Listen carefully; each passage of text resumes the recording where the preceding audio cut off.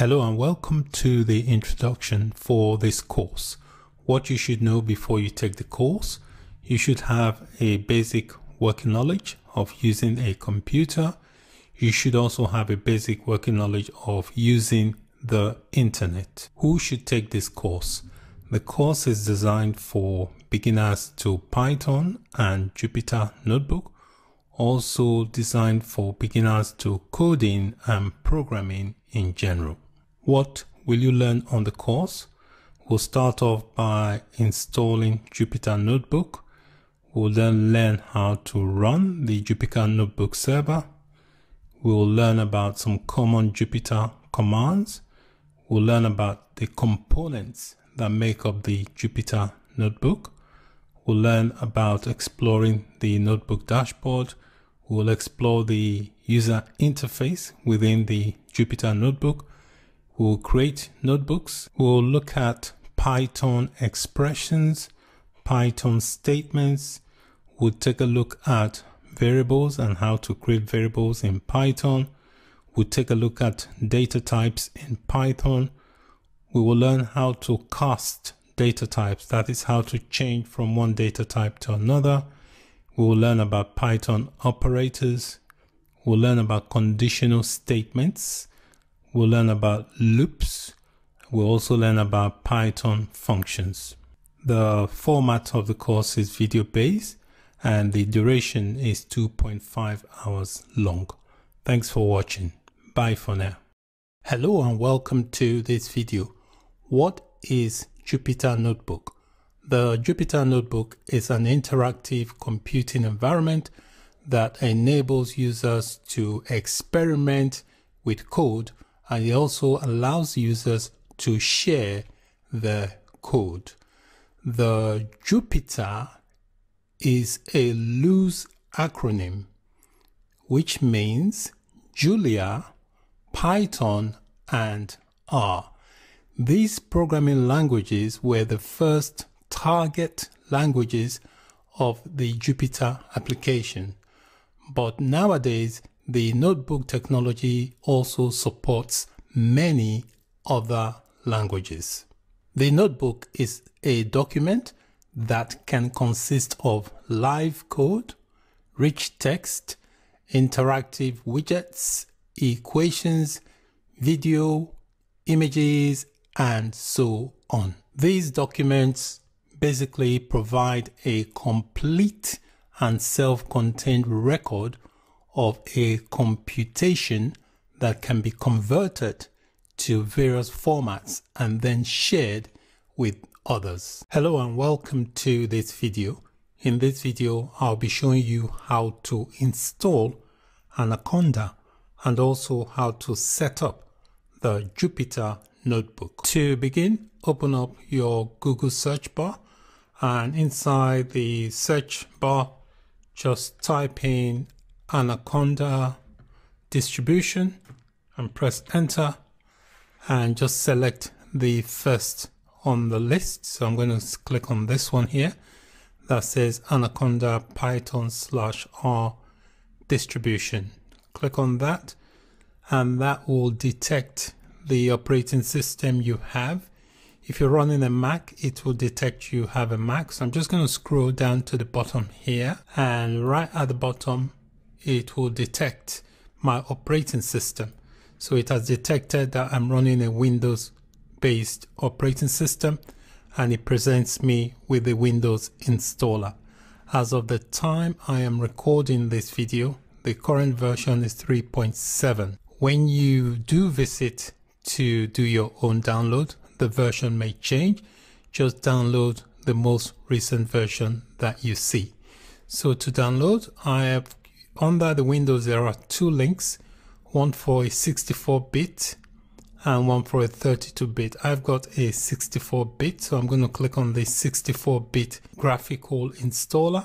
So you can see here is downloading on the bottom left-hand corner of my screen. I'll wait for that download to complete and then I'll run the installer. The Anaconda installer has completed downloading. So that's it here. So to run it, I just double click to begin the installation. So it's trying to launch. Just click on next and then click to agree. And there are two ways you can install it. You can install it just for your user profile, which is the recommended one, or you can use uh, install it for all users. If you're going to use the all users, you need to have admin privileges.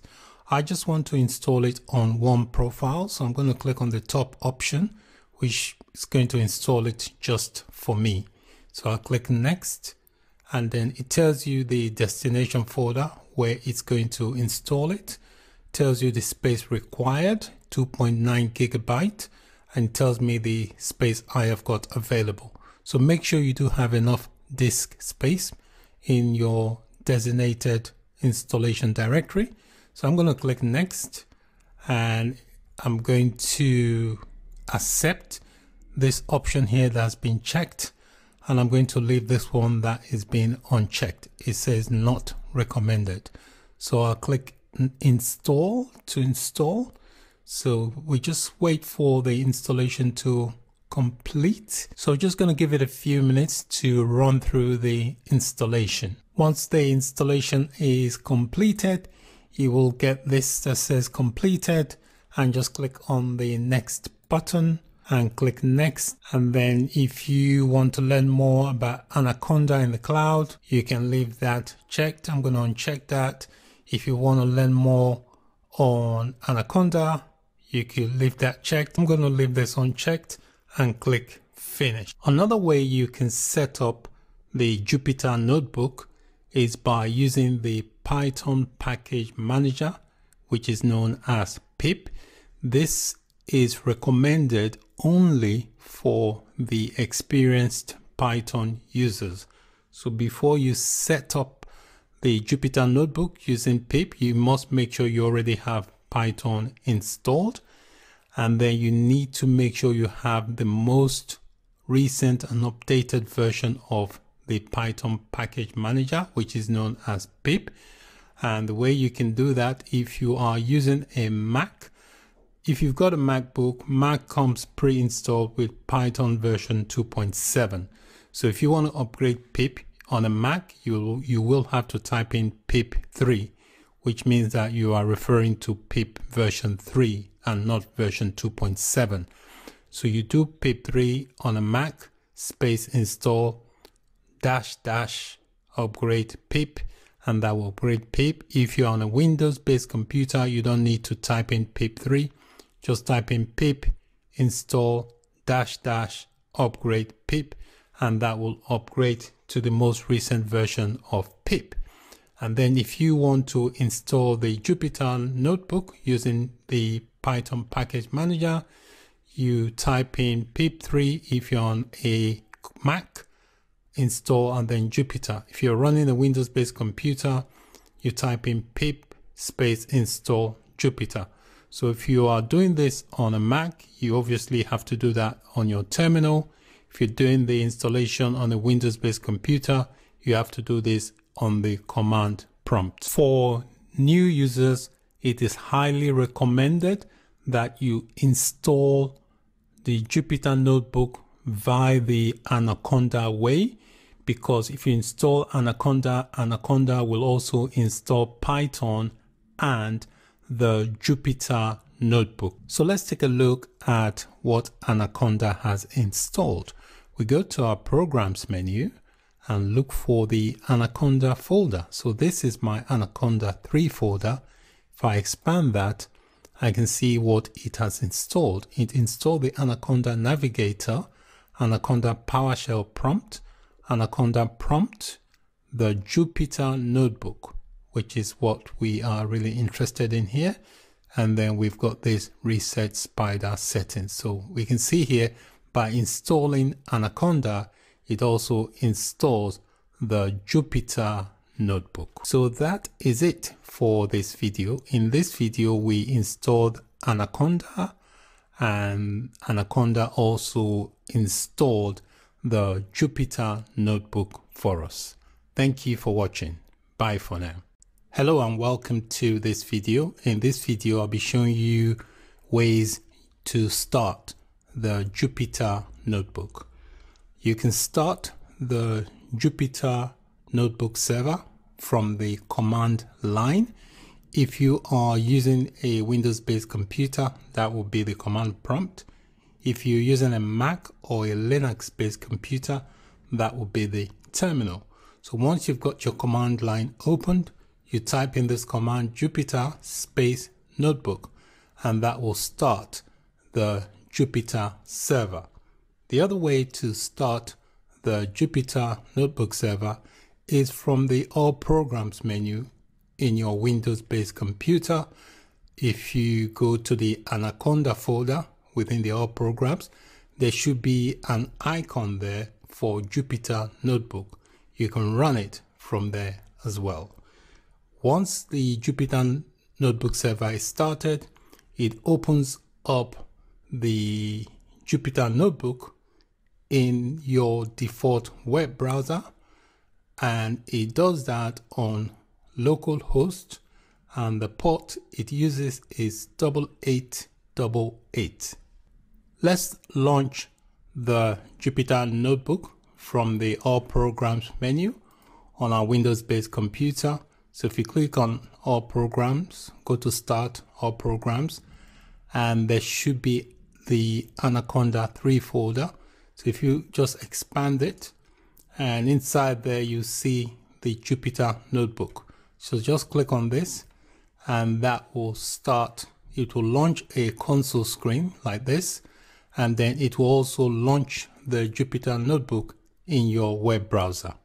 So this is what the Jupyter Notebook dashboard looks like once you have launched the Jupyter Notebook and inside this dashboard area here it gives you a list that shows a list of notebooks, files and subdirectories in the directory where the notebook server was started. So if you're launching the Jupyter Notebook from the All Programs menu, it will start from the root directory where the Jupyter Notebook was installed. And it also lists some directories and subdirectories from that root directory. So your directory listing will be different from mine depending on what you've got in your specific directory where the Jupyter Notebook has started inside the root of your directory. Most of the time, you can start a notebook server in the highest level directory that contains notebooks. All right, this basically is going to be the root directory and can also be the home directory if you are on a Mac or a Linux based computer. You can also specify the directory that you want the notebook to start from. And you do that by using, by starting the Jupyter Notebook server from the command prompt. While the Jupyter Notebook is running inside the console area here. So if you look at, look at the terminal interface here, the command line gives you a lot of information here. It tells you where the notebook is starting from. So it's serving the notebook from the local directory, which is on my C drive under the users directory and then under the profile administrator. All right. And then it tells you where the Jupyter notebook is running at in the web browser, which is localhost colon double eight double eight. To shut down or exit the Jupyter notebook server, you just do control dash C on your keyboard and that should shut down the Jupyter Notebook server. Once you shut down the Jupyter Notebook server, you will not be able to access the Jupyter Notebook on the web browser. You can see here, because I've shut the server down, you can see here it's not able to contact the server. I have shown you how to start the Jupyter Notebook server from the Programs menu on a Windows-based computer, which opened up the console and also opened up the notebook in your web browser on localhost colon 8888. I'm now going to show you how to start the Jupyter Notebook from the command line, which is the command prompt on a Windows-based computer, but the process is the same on the terminal. Notice that when you start the Jupyter Notebook from the Anaconda folder within the All Programs menu, it will start that from the root directory of your profile where the Jupyter Notebook was installed. When you're starting it from the command line, you can specify where you want it to start from. I've got a project directory here. It's an empty directory. I'm going to make the Jupyter Notebook start from this project directory. So to do that, I go to all programs and inside the Anaconda folder, we've got the Anaconda prompt. So this is what I'm going to use. So I click on the Anaconda prompt and I'll wait for it to launch. So you can see tells me the base, which is, so this is the default where the Jupyter notebook will start. Okay. Unless you change it. I want to change that to my desktop. So I do CD desktop. I press enter and I do CD. There's a folder called projects on my desktop. So I'll just do CLS to clear the screen. So now I have navigated to this folder here called project. That's where I want to start the Jupyter notebook. So I just type in Jupyter space notebook and press enter and it will start the Jupyter notebook. You can see it's trying to start it. You can see here because there's nothing in that root directory that's why you can't see any subdirectories here because the actual directory is empty. All right. And you can see here, it tells me where the Jupyter notebook is being served from. It tells you the path, the directory path. Always a good idea to pay attention to what's going on in the console in case there's anything that you are not sure with or if it doesn't work the way you expect it. All right. So running the Jupyter Notebook from a specified directory is also useful for project-based stuff so that if there's certain things you want to keep in a specific directory, then you can serve the Jupyter Notebook server from that directory. In this video, I showed you a couple of ways of starting the Jupyter Notebook. One from the command line, where you could specify a directory for the Jupyter Notebook to be served from. And I also showed you how to start it from the Anaconda folder within the All Programs menu of your Windows-based computer. When you start it from the Anaconda folder, there is a Jupyter Notebook icon that you can run and by default it serves the Jupyter Notebook from the root directory of your profile. And when the Jupyter Notebook opens up, it opens up in your default web browser on localhost colon 8888. The port number is 8888. So that's it for this video on running the Jupyter Notebook server. Thank you for watching. Bye for now. Hello and welcome to this video. In this video, I'm going to show you some common and useful Jupyter commands. All Jupyter commands are prefixed with the keyword Jupyter before the subcommands are issued. The Jupyter keyword basically is the primary namespace for all subcommands.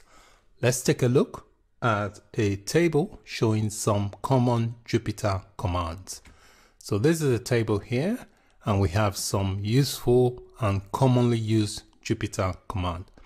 First one here in the table is the command to start the Jupyter notebook. You just type in Jupyter space notebook and that will start the Jupyter notebook application.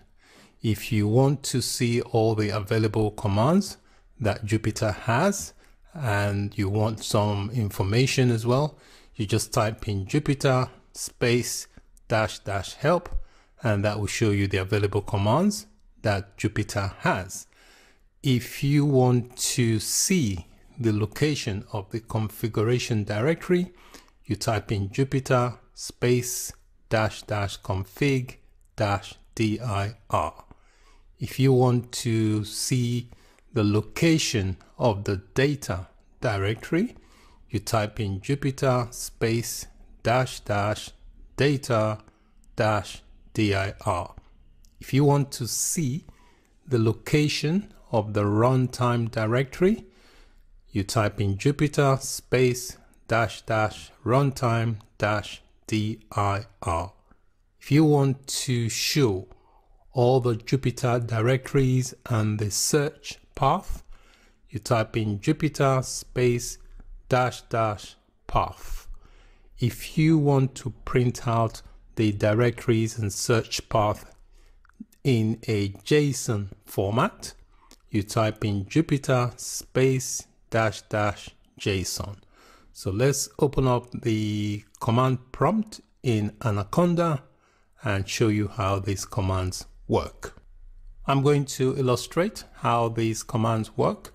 So in my Windows computer, I'm going to go to all programs and I'm going to look for the Anaconda 3 folder, which is this folder here. I'm going to expand that and I'm going to select the Anaconda prompt. I'll click on that and that should open up this console, this terminal. If you're doing this on a Mac or a Linux based computer, you can just do this on your terminal. So you can see here it says base, that is the base directory. That's where the Jupyter Notebook application will start from. So if I want to start the Jupyter Notebook application and I do not want the web interface to show, this is the command I will type. I'll type in Jupyter space notebook and then you do a space dash dash no dash browser. What that means it will start the Jupyter notebook but it will not show me the browser interface. So I press enter and that should start the Jupyter notebook in this base directory. But even though it gives me the location of the web browser interface, it will not launch it because I've said I don't want the browser to display. To shut down the server, you just type in Control C and that will stop the server. So let's stop the server now that we have issued this command. So I just do Control C and that will stop the server. Okay, so you can see I've done a Control C. It has shut down the server. All right, so I'm just going to clear my screen by typing in CLS so that I can type in more commands. The next command I want to type in is the help command. So if I want to see the available commands and want some information, I just type in Jupyter space dash dash help. If you don't want to type in help, you can type in dash H. That will also do the same thing and press enter. And you can see here it gives you some information about the Jupyter notebooks. It tells you usage here, um, Jupyter interactive computing and gives you some optional arguments. So very useful information. I'm to clear the screen again, type in CLS so that I can type in more command. The next command I'm going to type in is to show the location of the configuration directory. So I just type in Jupyter space and it would be dash dash config dash dir. I press enter and that shows me my configuration directory. The next command, I want to show the location of the data directory. So I'll type in Jupyter space dash dash data dash dir and press enter. You see that shows me the location of my data directory. If I want to show the location of the runtime directory, I'll type in Jupyter space dash dash runtime dash dir. Press enter and that gives me the location of the runtime directory. If I want to show all the Jupyter directories and the search path, I type in Jupyter space and I type in dash dash path with an S and press enter and that will show me all the path. Okay, it shows me the location of all the Jupyter directories and their search path. So you can see it's listed quite a few. The final command I am going to type in is going to be a command that will print the directories and search path in machine readable JSON format. So to do that, type in Jupyter again, space, dash, dash, JSON and press enter. You can see here it's giving me the path. So in this video, I've shown you some commonly used Jupyter commands. Thank you for watching. Bye for now. Hello and welcome to this video. In this video, we will take a look at the components of the Jupyter Notebook. The Jupyter Notebook application is a client server application. A client server application basically is a distributed application structure that partitions tasks or workloads between the providers of a resource or a service, which are usually called servers, and the service requesters, which are usually called clients. So the server, which is represented by this box here, is the resource provider. And then we have the client in terms of Jupyter Notebook, that could be your web browser because the Jupyter Notebook also has a web component, which is a web browser which will act as the client to the server. So the client will be requesting services from the server, which is the provider of the resource.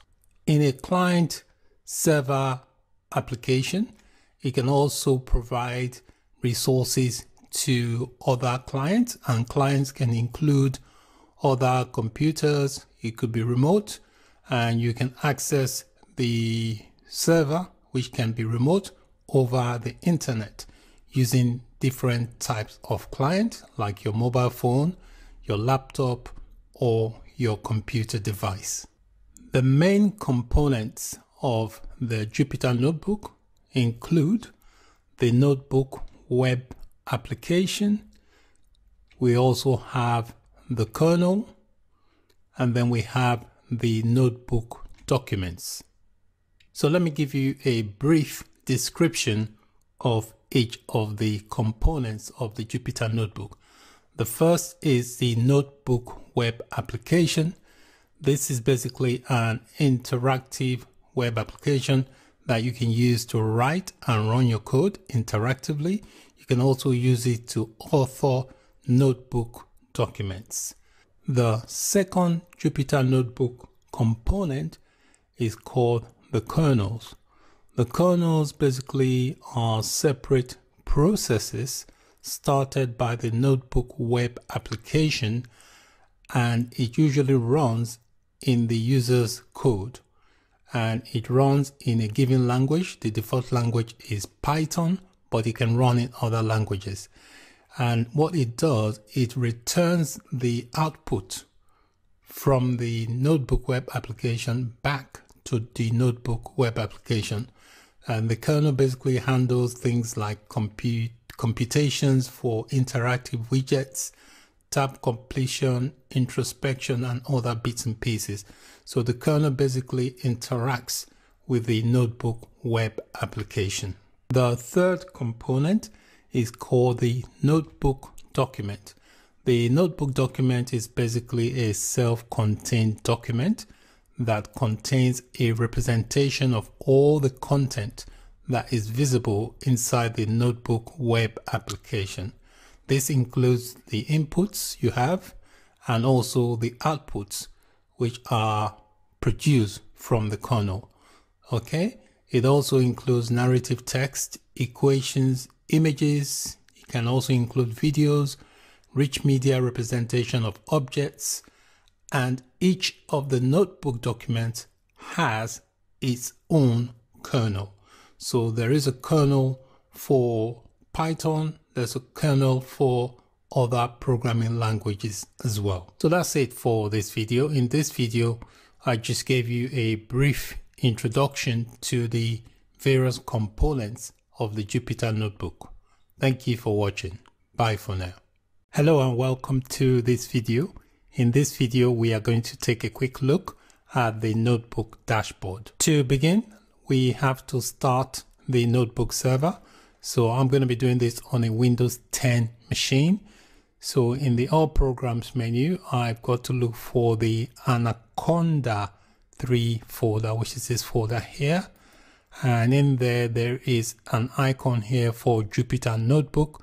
If I click to run this icon, it will start up the Jupyter Notebook server from the root directory where it was installed.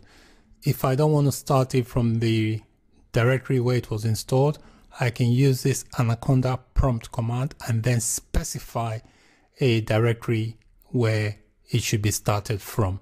But for this video, I'm going to start it from the default, which is where it was installed. So I click on the icon for Jupyter Notebook and it will launch this Jupyter Notebook interface. You see it launches the web browser and it also launches this here. So from here you can see where the Jupyter Notebook is running at.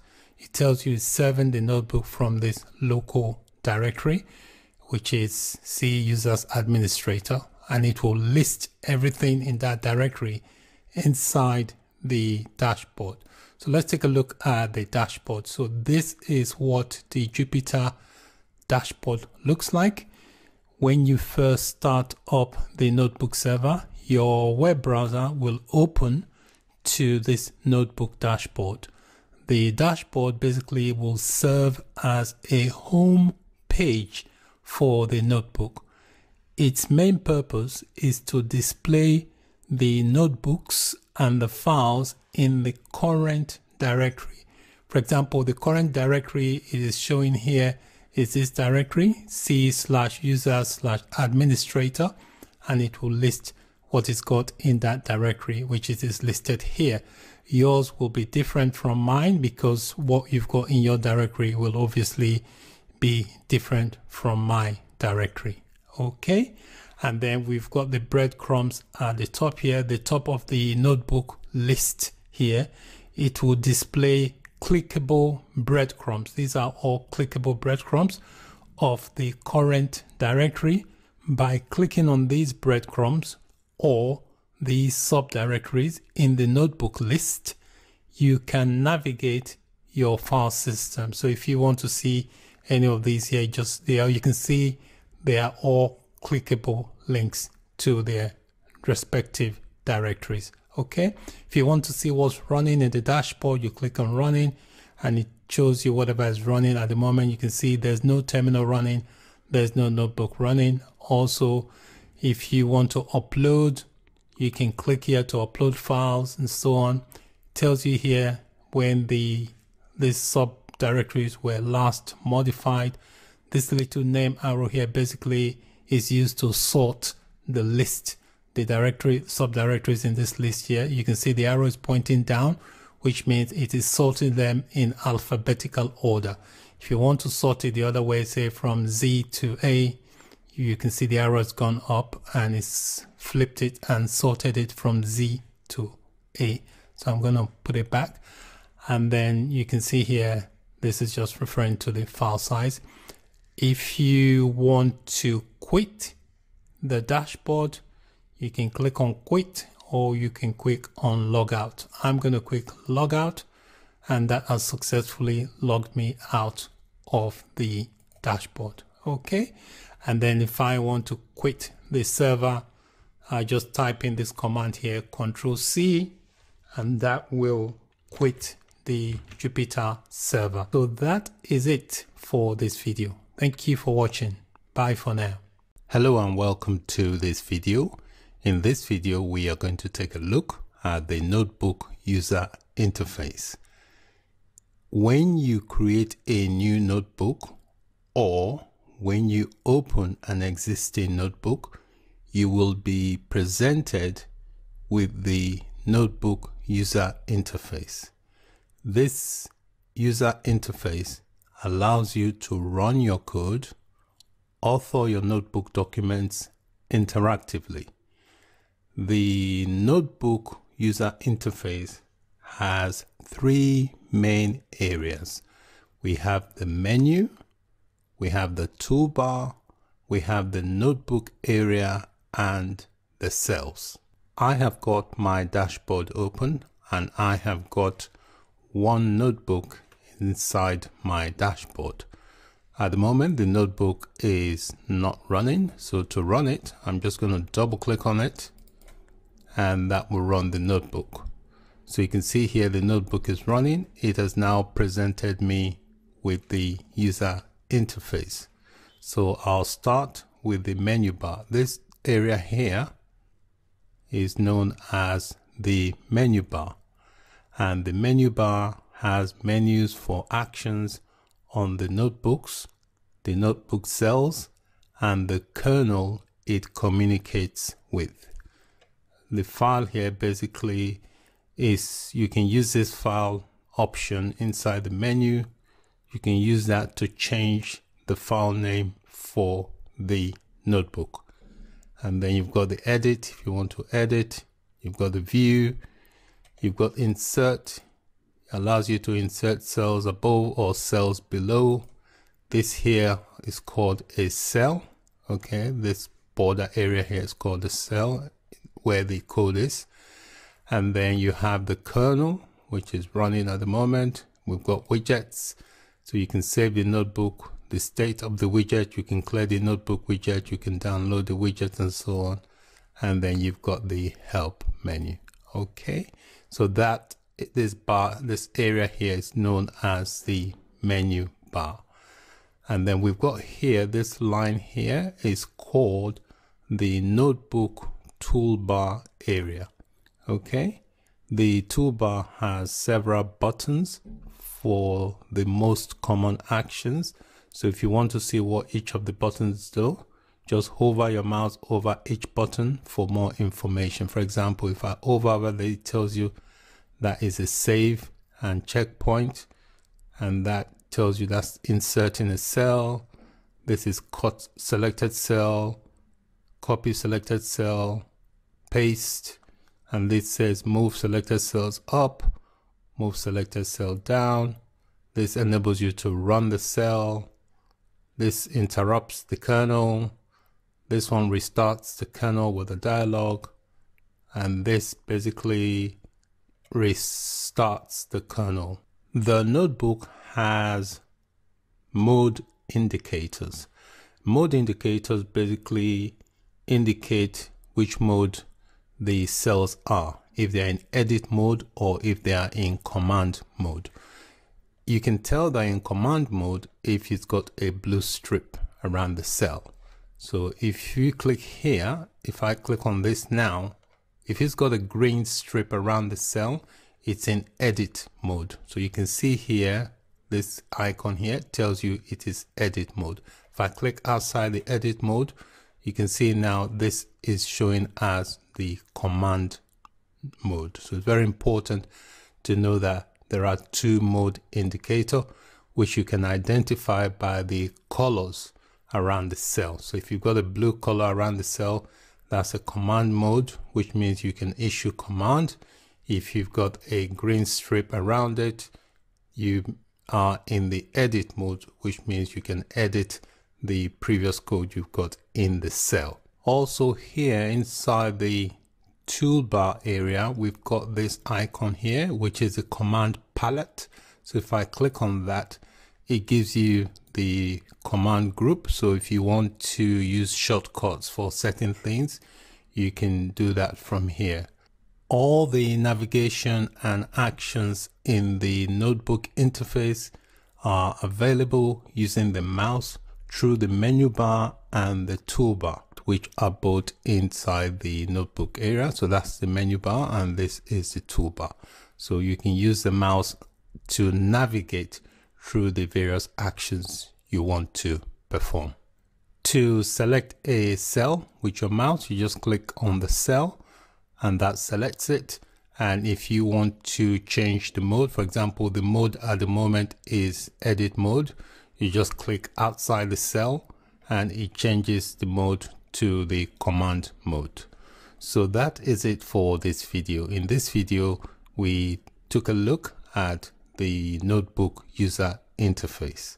Thanks very much for watching. Bye for now. Hello and welcome to this video. In this video, we are going to be creating a new notebook. Before we create the new notebook, I just want to point out a few things. A notebook will have the file extension .ipynb. Also, a notebook consists of three basic type of cells. They are code cells, which will include the input and output of the live code that runs in the kernel.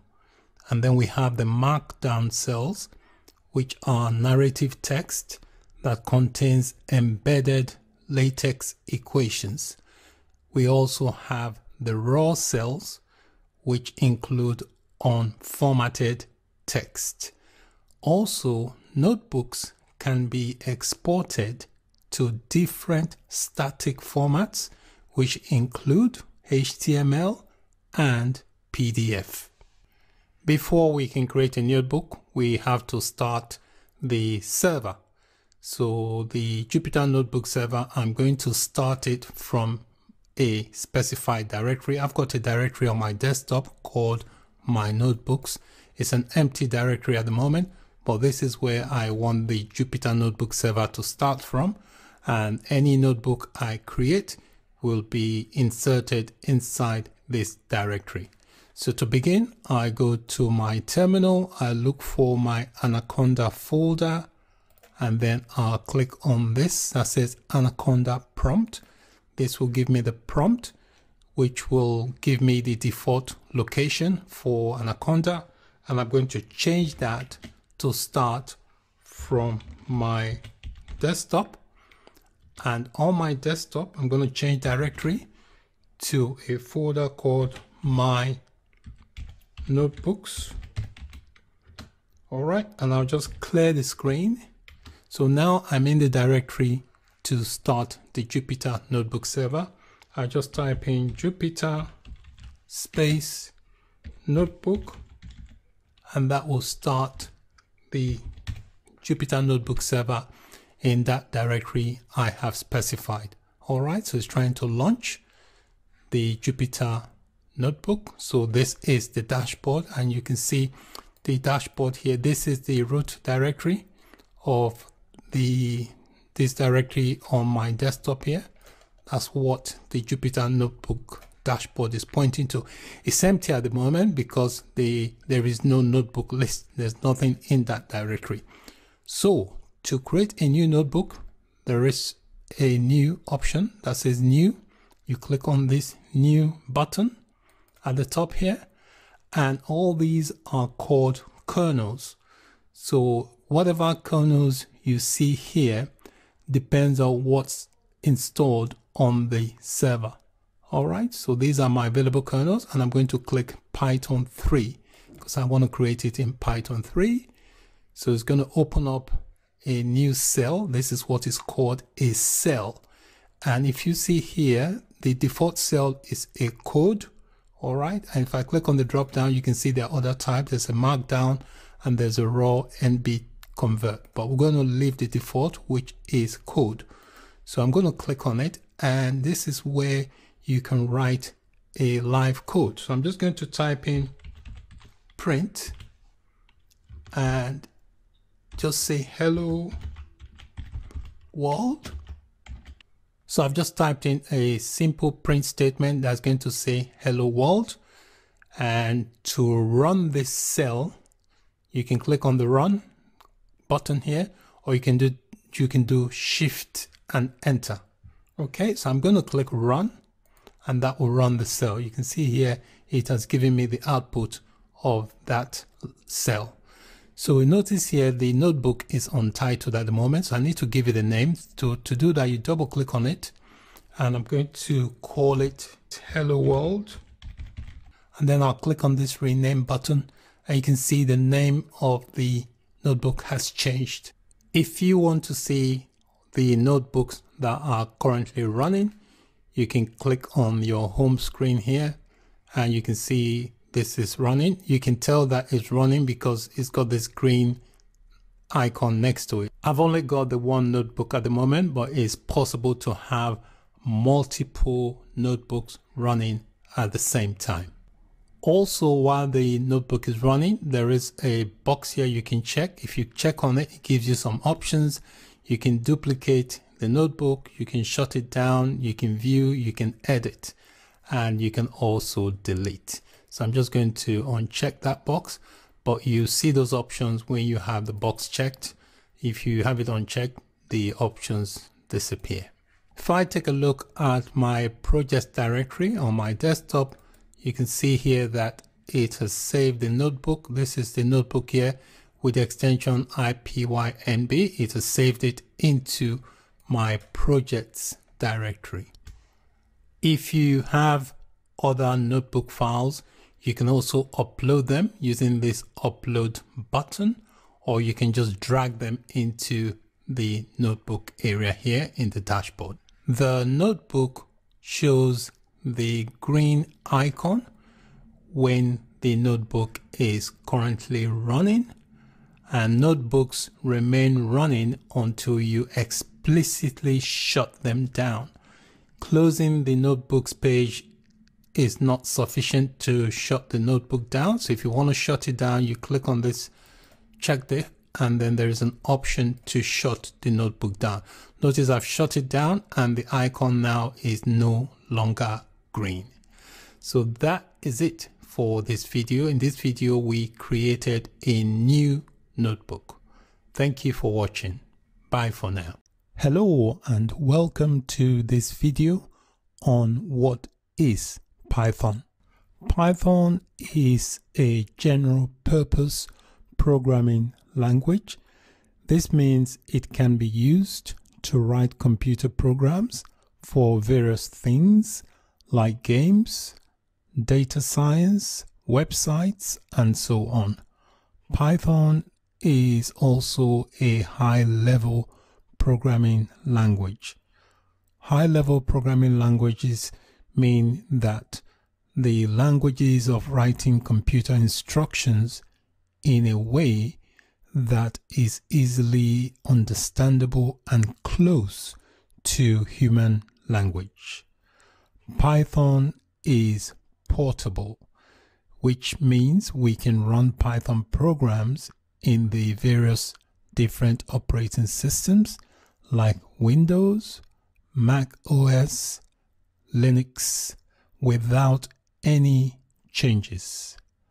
Python is an interpreted language. Python is called an interpreted language because it goes through an interpreter which turns code you write into the language understood by your computer's processor. Python is strongly typed. Strongly typed languages don't convert data from one type to another type automatically.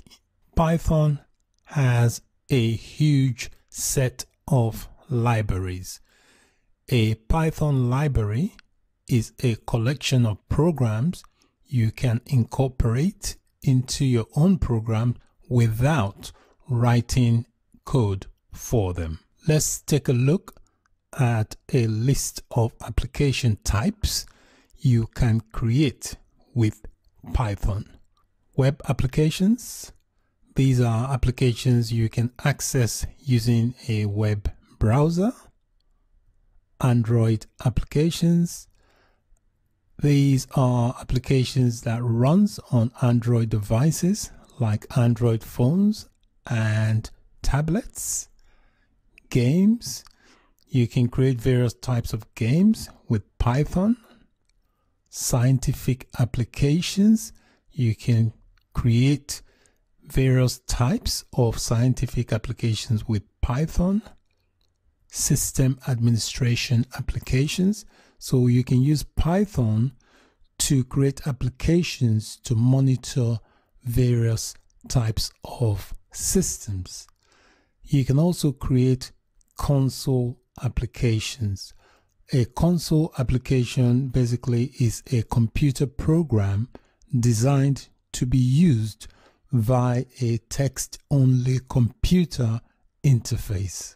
Let's take a look at a list of software applications that have been created using Python. So some of these are quite famous and popular.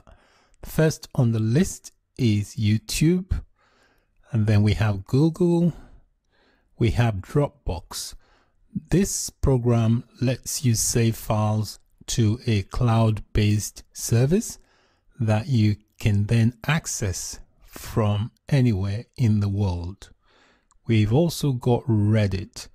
Reddit is one of the biggest open communities on the web. You have a question you want to talk about, something specific, or if you want to find tons of information regarding a particular topic, uh, for example, gardening or anything, you can just look on Reddit and find related information. Next, we have Spotify. Spotify allows you to listen to ad free music of your choice. This is a streaming service that allows you to stream music without any advertisement. Finally, we've got Instagram. Instagram is very popular. It has both an app side and also a website as well. And these are just a few list items of software that were created using Python. There are so many others, but these are just some few that you may have come across. So that is it for this video on what is Python. Thanks for watching. Bye for now. Hello and welcome. In this video, I will introduce you to high and low level programming languages. What are high level programming languages? These are languages that only humans can understand. So computers can't understand them unless they are compiled or interpreted. They need an interpreter or a compiler for the computer or the machine to understand what the programming is trying to get it to do. Examples of high level programming languages include Python, Java, C Sharp, C, PHP, Ruby, and there are many others. What are low level programming languages? These are languages that only machines can understand. They do not need an interpreter or a compiler. They are closer to the computer hardware. Examples include machine and assembly language.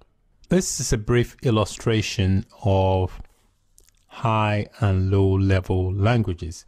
So you can see the nearer the language is to the hardware of the machine, the faster it is and it doesn't need to be interpreted because it's so close to the computer hardware. Whereas the further away it is, like we've got these lot here, they are further away from the hardware. So they need, they're easier for programmers to understand because they contain English related words, but not machine to understand. So for the machine to understand what this block here is saying, it needs to be converted into machine code using a compiler or an interpreter. Key differences between high level and low level programming languages. High level languages are easier to learn. Low level languages are more difficult to learn.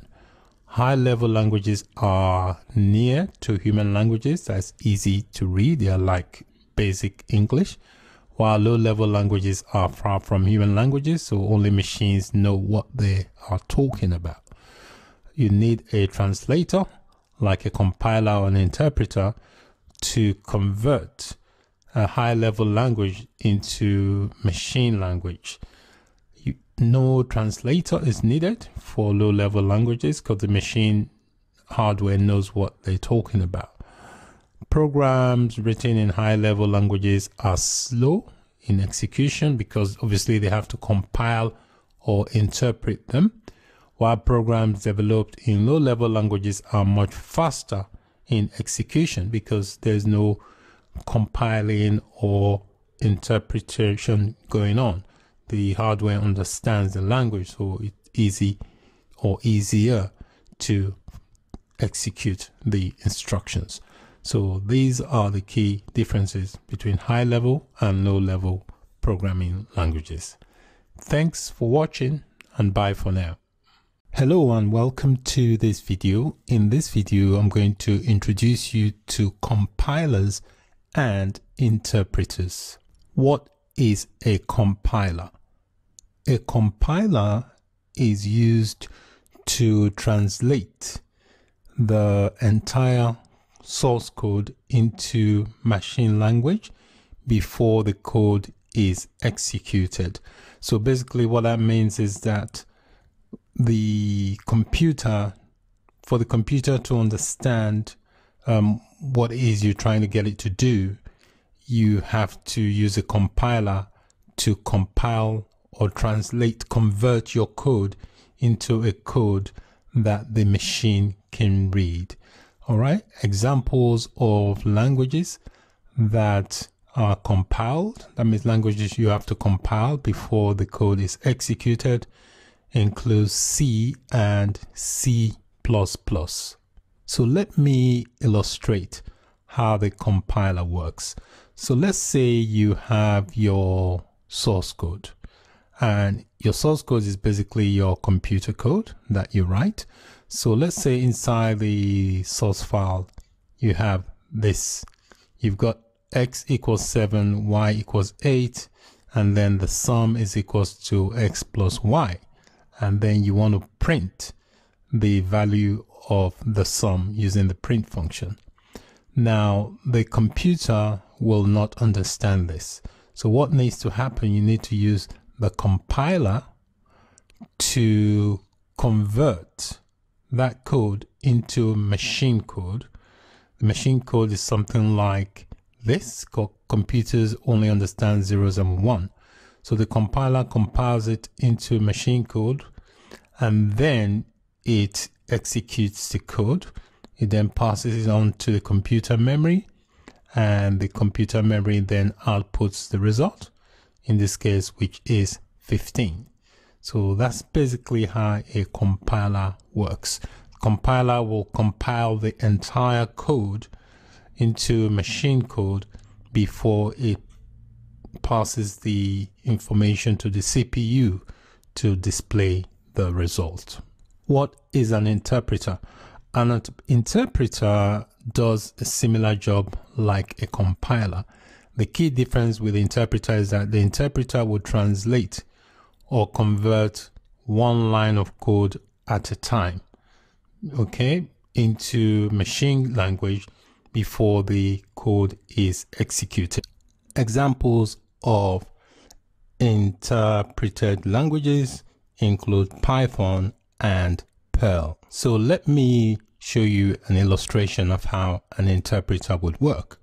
So let's say you have your source file and you have this bunch of code inside your source file.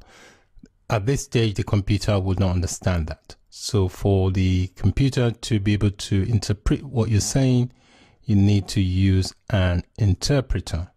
So the way the interpreter works is that it will convert a line at a time. So for example, it would do x equals to 7, compile that and run it. You do y equals to 8, it will translate or convert that and then run it. It does line by line in comparison to a compiler that compiles the old code into machine code before it executes. In case of a interpreter, it does it line by line and then eventually it will produce the result.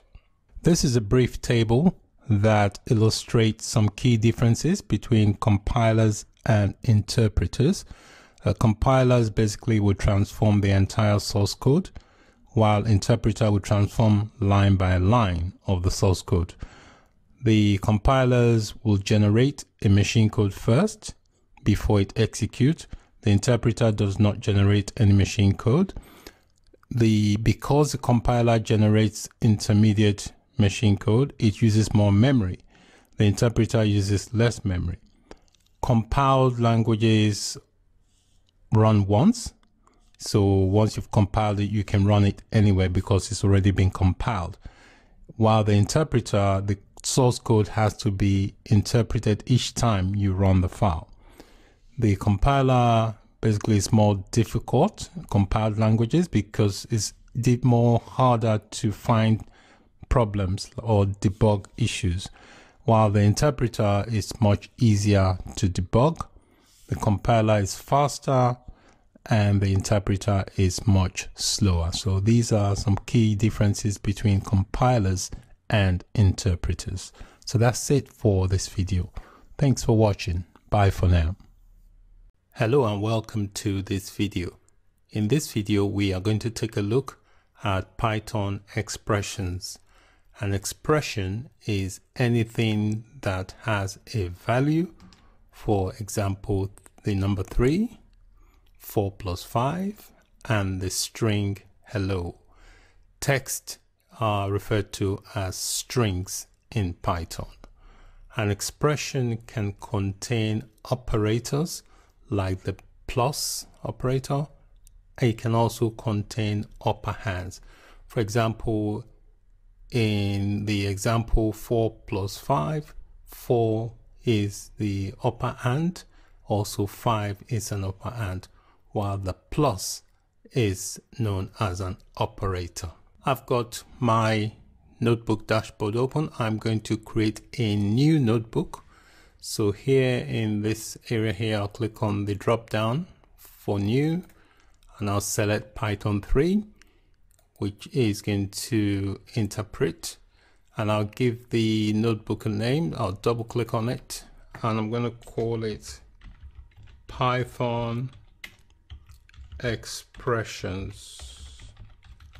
And I'll click on the rename button to rename it. So it's now saying Python expressions.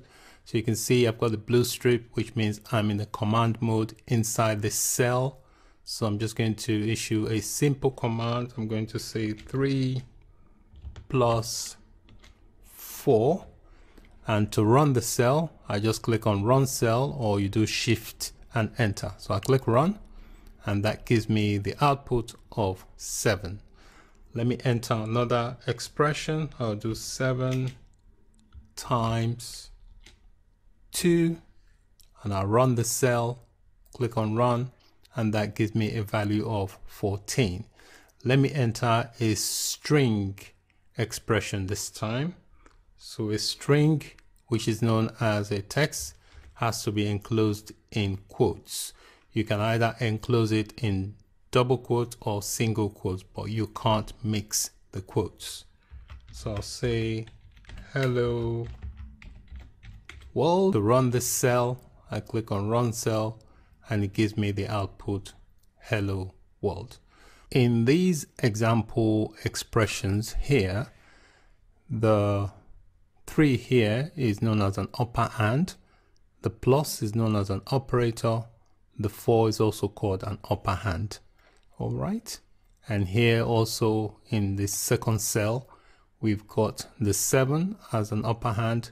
The asterisk represents multiplication in Python, which is known as an operator. The 2 is an operand. And in this cell here, we've got a string value, which is basically a text. So in order for Python to understand that this is a text, you have to enclose it in quotes. So on, on either side of the text. So you can have either single quotes on either side or double on either side. You can't mix single and double quotes. In this video, I gave you a brief introduction to Python expressions. Thanks for watching. Bye for now. Hello and welcome to this video. Python statements are basically a set of instructions that you give to the computer to perform a task or a series of tasks. Python statements can contain one or more expressions. It can also be on a single line or it can consist of multiple lines. To illustrate examples of Python statements, I'm going to create a new notebook. So on that new here, I'll click on the drop down, I click Python 3. Python 3 contains the Python interpreter that will interpret the code we write into a machine readable format that the computer can understand. So I'll click Python 3 and I will just double click to give it to give it a name. So I'll change the name to say Python statements and I'll click rename. So this notebook is going to be called Python statements. Um, so you can see we've got a blue strip here, which means I'm in the command mode. So I'm going to start up with a single line statement. It's going to be a simple expression. I'm going to say 9 times 9 and I'm going to run the cell by clicking on the run button and that gives me 81. So this is known as a single line statement because the statement or the instructions is just on one line. So depending on what you want the computer to do, you can have a statement that consists of several hundred, even thousands lines of code, depending on the task you want the computer to perform. So I'm going to give you an example of a multi-line statement. So I'm going to use a for loop. So I'm going to say for i in range and a range is basically an inbuilt function in Python which you can use to specify a range. So I'm going to say 13. I'll specify the range and then I will add the colon. The colon is very important. It creates an indentation level. So if I press enter, you can see here it's giving me an indentation level so I can add another line of statement. So I'm going to add a print function. So I'm going to get it to print the value of i. So let me click to run the code. You can see here it's printed out from 0 to 12. All right. So when you specify a range, the first number is usually a 0. Okay. Hence, it has not printed out 13 because 0 here represents the first range. Okay, so this is an example of a multi-line statement because the statement is on two lines. Let me explain what this code is in this cell number 2 here. The for basically is used to iterate over a range of values. So here I'm saying this for is going to be used to loop through a range of 13 numbers, a sequence. So the i here is going to be what is going to store the value. So I say for i in range, range basically is a inbuilt function in Python. So we're basically using this for loop to loop through this range and we're going to print out each value of this i. So i here contains all the values. So what it's going to do, the first value is going to print is going to be 0. So it prints from 0 to 12, which gives it 13 values. Okay, so that's basically what that code is doing. In this video, I gave you a brief introduction to what Python statements are. So a statement can contain one or multiple lines of code depending on the task you want the computer to perform. Thanks for watching. Bye for now. Hello and welcome to this video. Python comments can be very useful. They can be used to explain your Python code to yourself and to others. Also, comments can be used to prevent execution of code when you are testing your code. So you may have certain aspect of your code that you don't want to run during execution. To achieve that, you can add comments to that aspect of code, which prevents the execution of that code. So this can be very useful during testing purposes. There are two main types of comments in Python. We have a single line comment and a multi-line comment. So the single line comment is represented by the hash symbol, while a multi-line comment, you can either represent it by three double quotes on either side of the code you want to comment, or you can have three single quotes on either side of the code you are trying to comment. I've got my Jupyter dashboard. I'm going to create a new notebook. So on that new, I'll click Python 3 and I'm going to call this notebook Python comments and then I'll click rename.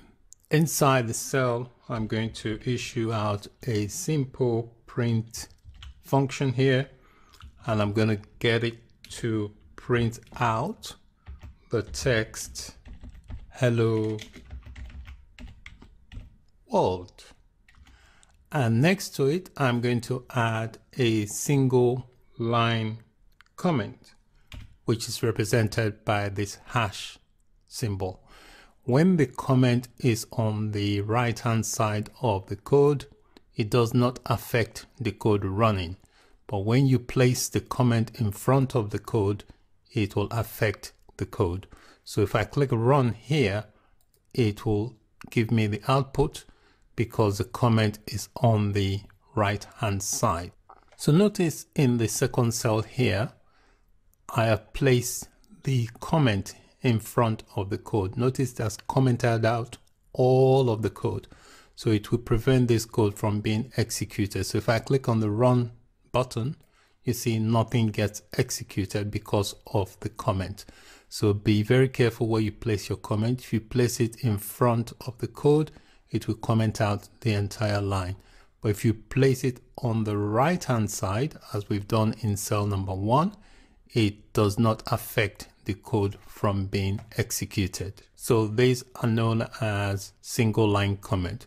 So let's give you an example of a multiple line comment. So to do that, you do three quotes on either side all right so you can press enter. So you either have three double quotes or three single quotes. You can't mix the quote. And then any text that is enclosed between these quotes will be commented out and the code will not be executed. In this cell here we've got a multi-line comment because it spans multiple line this is one line, this is another line. So we can see that the multi-line is enclosed by these quotes. So we have three double quotes before and three double quotes under. Notice it has turned all the text in between the quotes red, which means that when I run this cell, those lines of code will be ignored. The only line that will print is this print function here that says hello world. So if I run this cell by clicking on the run button, you can see here it's printed out hello world and it has ignored this here, which is the multi-line comments. So comments are very useful in Python. They help you explain what your code is doing and also can help you comment out certain lines of code if you don't want those lines of code to be executed. So that is it for this video. Thank you for watching. Bye for now. Hello and welcome to this video. There are three basic data types in Python. We have the numbers data type. This basically includes integers, which are known as int, and floating point numbers, which are known as float. An integer basically is a whole number, and a floating point number is basically numbers that includes decimals. We also have the string data type, which basically is a text or a sequence of characters. It's also referred to as str. And then we have the Boolean data type, which is a true or false value, is also known as the bool. You can get the data type of any object by using the type function in Python. So basically you pass in a value in between the parentheses and this type function will return the type of data type. So let's create a new notebook and experiment with some data types. So I'm going to create a new notebook. So I'll come here, say new, click on Python 3 and I will give the notebook a name and I'm going to call it Python data types. So we're going to experiment with the basic data types in Python. I'm going to use the type function to enable us detect the type of data type it is. So I am going to start with an integer, which is a whole number. So I'll do the type command. And inside this type function, I'm going to pass in a value, which is 80. So 80 is a whole number. So I click on this run command, you see here it has returned that this type of data is an integer. So an integer is a whole number. It can also include negative numbers. So if I type in, I do a type, and inside that type function, if I pass in negative 30 and run, it also return an integer because they can contain both positive and negative values. So let's try and get a data type that is a floating point. A float is basically a number that includes decimals. So we do type and inside this function let's do 28.5 and run this cell you can see it has returned a float you can also have a negative float value as well so if I do type and in between I do negative 1.0 and do a run it also returns a float next let's try and get a string data type so we'll do a type Remember with a string, you always have to enclose the values in quotes. So I'm just going to say hello and I'll do a run. You can see here it has returned that this is a string data type, which is specified by the word str. Next, let's do a Boolean data type. So I'm going to do a type and inside this type function, I'm going to say 7 is greater than 6 and this should return a bool value which means it is true. I'll click run. You can see it's returned a bool. If I do it the other way, I do a type and say 7 is less than 6, it will also return a bool value because 7 is not less than 6, so it will be a false value, which would be a bool. So if I click run, you can see here it has returned a bool value. Data types are a very important concept in Python. So when you have to store data in variables, it's good to know the type of data type you are storing. So that is it for this video on basic Python data types. Thank you for watching. Bye for now. Hello and welcome to this video. What is casting? casting basically is the process of converting from one data type to another data type. There are several functions that you can use in casting.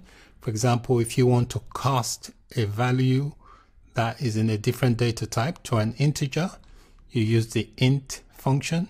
If you want to cast to a floating point number, you use a float function. And if you want to cast to a string, you use the str function. Let's create a new notebook. So I'm going to click on the drop down, click Python 3, and I'm going to give this a name. I'm going to call it casting data types and I'll click the rename button. So let's cast a value that is a float into an integer. To do that, we're going to use the int function.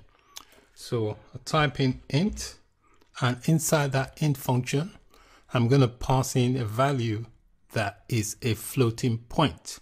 So I'll do 2.8 and I'll run this cell.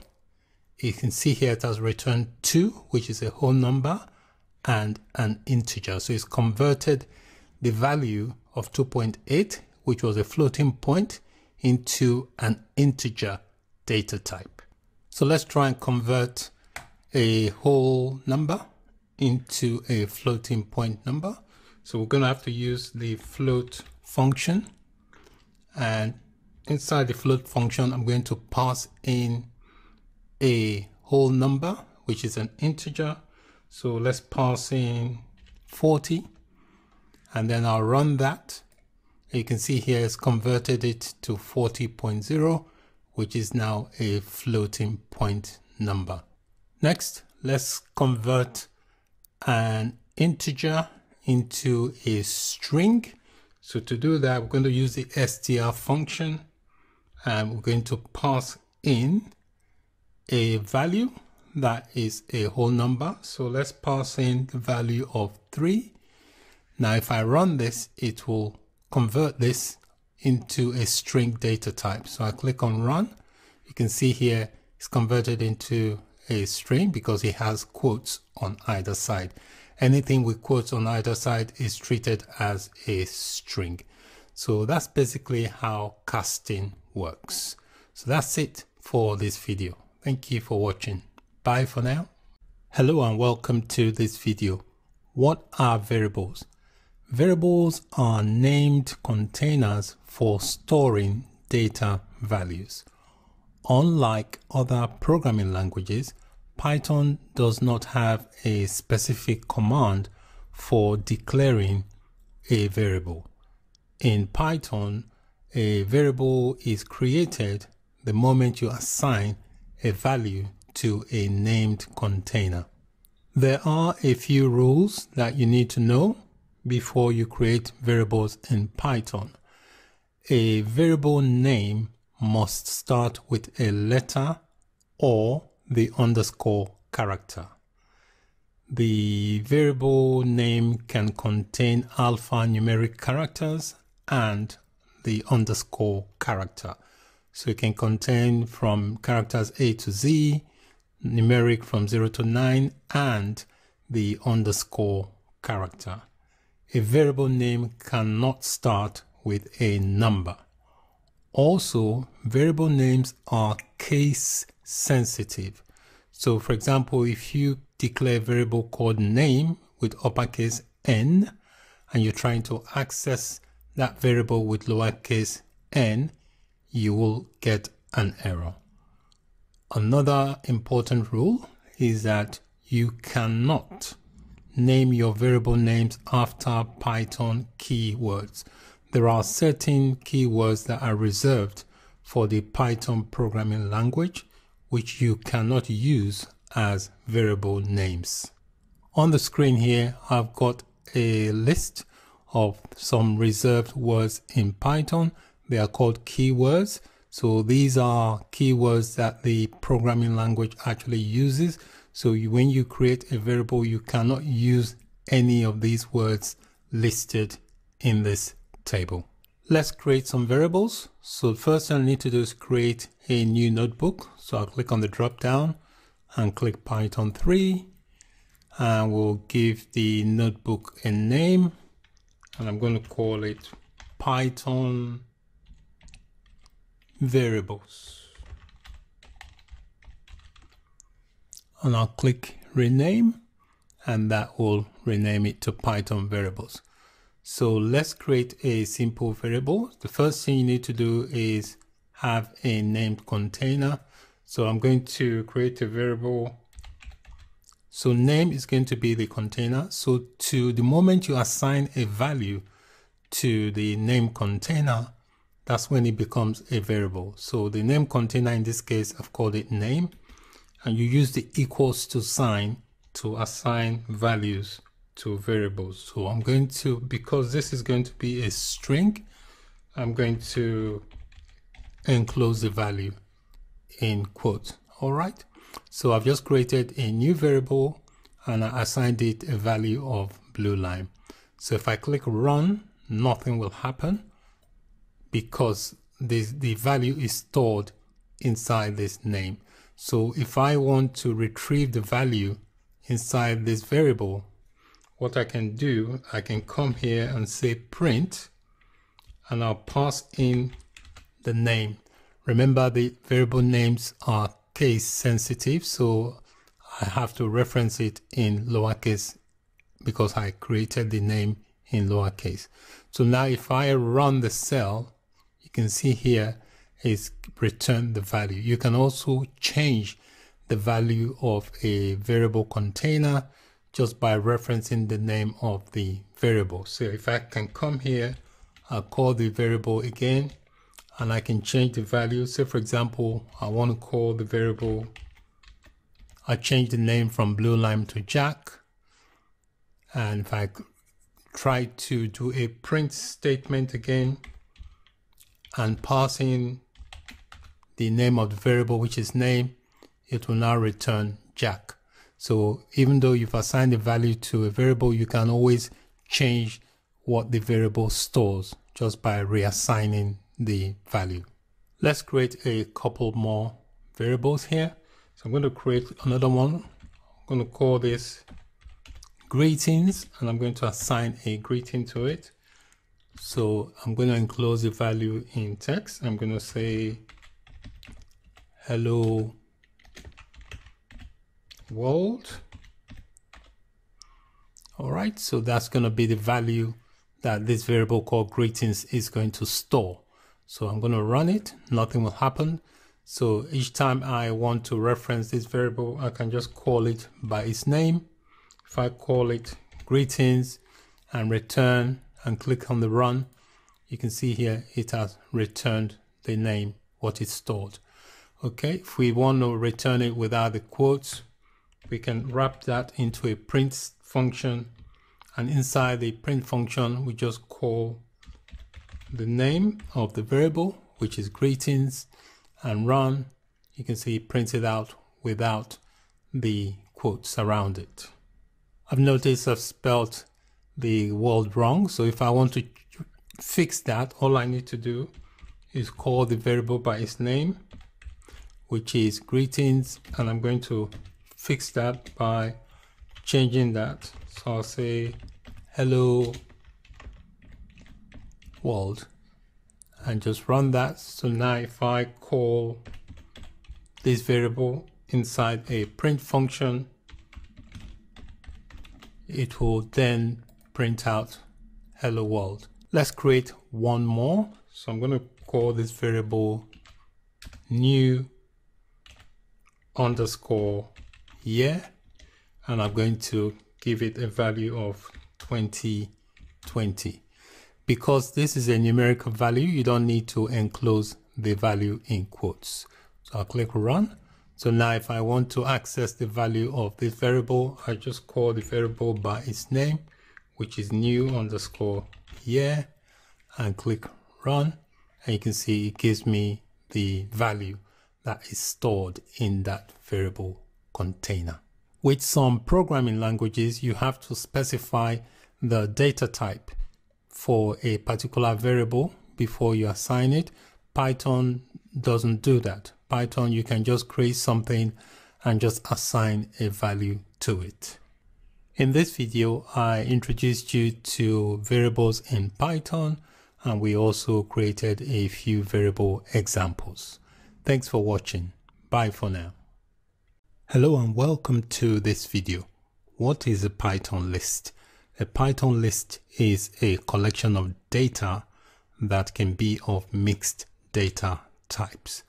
Unlike variables that can only store one value in a container, a Python list can store multiple values inside one container. Each item in a list is separated by a comma and you can create a list by using square brackets. For example, you can create a list called fruits and you assign the values or the items for that list inside square brackets and you separate each item by a comma. You can access individual items in a list by the index position. So the first item is always index 0, the second item in the list is index 1, and so on. Also, you can change the order in which an item is positioned in a list by changing their index position. Let's create a new notebook. So I'll come here, do new, Python 3, and I'm going to double click and give it a name. I'm going to call it Python list. And I'll click rename. So you can see here we have a new notebook called Python list. So let's go ahead and create some list. In this cell, I've created a new list called animals and I've assigned some values or elements to the list. If I want to access any item or element from the list, I will have to do that using their index number. So the first item on the list will always have an index of zero.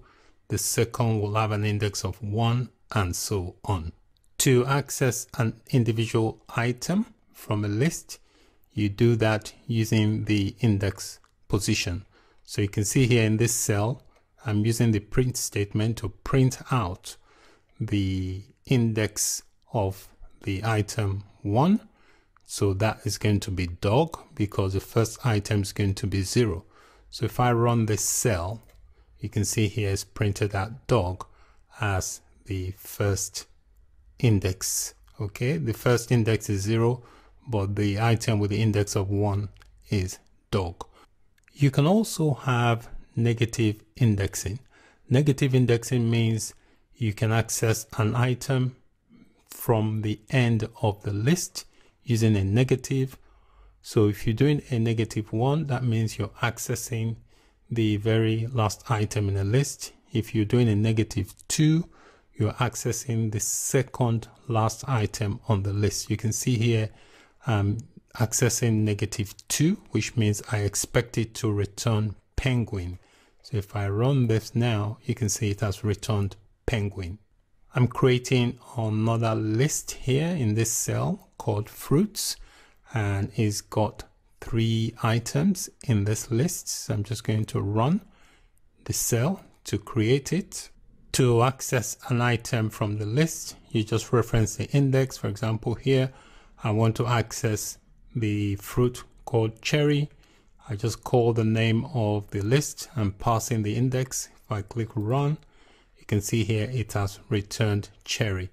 If you don't want the quotes enclosed, just do a print statement and wrap it around the print statement like I did here in this cell number two that will return the item without quotes. Another thing you can do, you can change the value of an item in a list. For example, the list called fruits, I want to replace the value of apple with orange all I need to do is reference the name of the list, pass in the index of what I want to change, which is zero. Zero is apple, and then assign a new value, which is orange. So if I run that, that will change that. So if I now call the name of the list, I should no longer have Apple listed. You can see the position of Apple has been replaced by orange. You can also add items to a list by using the append method. So in this cell here, I'm going to add Apple to this list. So you do that using the append method. So you call the name of the list, which is fruits, dot append, and inside the parentheses for that method, you pass in the name of the item you want to insert. And normally that will add that at the end of the list. So if I run that, if it will add that to the list. So if I now call the name of the list, we should have Apple listed at the end here. I'm creating another list here with mixed data type. So you can create a list that has a mixture of data types and you can also have a list include under other list. So in this list here called mixed underscore data, inside the items, I've got a string, I've got an integer, I've got a float, I've got a boolean, and I've got a list. See this list I created here called fruit. I'm adding that to this new list. So let me run that and that creates it. So if I want to access an item, for example, if I want to access the integer from that list, so I reference the name of the list, which is mixed data, and I pass in the name, the value or the index of that integer is 1, which is 47. So if I run that now, that gives me the value. You can also remove items from a list. Now there are a few ways you can do that. You can use the pop function. So you call the name of the list, in this case fruits dot pop and inside the parentheses you pass in the index of the item you want to remove from the list. So in this fruits here, index number three is going to be apple. If you don't supply the index, it will automatically remove the last item from the list. This is the second way. You can use the remove method. I've commented that both because I only want the first method to run. So you can do a fruits.remove and pass in the value of the item you want to remove. You can also use the delete key. You do del fruits and then you pass in the index of the item and that will also remove it from the list. But in this example, I'm only going to use the pop method. So I'm going to run this cell and you can see here it tells me it has removed apple from that list. So if I type in fruits and run the cell, you can see apple is no longer listed. Another thing you can do is loop through a list and you can do that using a for loop. So in this example here, I'm saying for X, X is going to represent each item in the list. So I say for X in the list called animals, I want it to print X. So it will print all the items. So if I click run, you can see here it's printed out all the items in the list. Another thing you can do is check the length of a list. So if you want to find out how many items there are in the list, this is the function. There's a function called len. So because I want to print it out, I'm wrapping it inside this print function. And inside the len function, you pass in the name of the list. So if I run this now, it gives me eight. It tells me that that list called animals has eight items in it. Another thing you can do is clear or empty a list. Um, to do that, there is a special function called clear. So this is a list I want to empty called fruit. So you do fruits.clear, you add the parentheses, you run that, and that should clear the list. So if I type in fruits now, it should return an empty list. You can see it's returned an empty list. So that is it for this video. In this video, we learned about a Python list. Thanks for watching. Bye for now. Hello and welcome to this video. What is a Python tuple? A tuple is a collection of data that can be of mixed data type. In Python, a tuple can store multiple values in comparison to a variable that can only store one value. Each item in a tuple is separated by a comma. You can also create a tuple using parentheses. For example, you can create a tuple called fruits and then use the equals to to assign values to the tuple, which are placed inside parentheses. To access the individual items in a tuple, you do that by the index. So the very first item will have an index of 0, second item will have an index of 1, and so on. Also, one very important distinction between a tuple and a list is that a tuple cannot be changed once you have created it. You can't add items to the tuple and you cannot remove items from the tuple. It is immutable. Let's go ahead and create some tuple. So in this cell here, I'm creating a tuple called animals. I'm using the equals to to assign values to the tuples and the values are placed in between the parentheses. So I'm just going to run the cell to create the tuple. So to access an item from the tuple, you use the index of that item. For example, if I want to access this item called goat, this will have an index of 3 because the first item has an index of 0, 1, 2, 3. So all I need to do is come here and call the name of the tuple, which is called animals, add my square bracket, and I'm passing the index of the item. So if I run that, that gives me goat. You can also use negative indexing to access the values of a tuple. Negative index basically will access the item from the end of the list. So here I'm accessing negative 1, which means I'm accessing the last item from the list, which is tiger. So if I run this, you can see here it's giving me the value of tiger.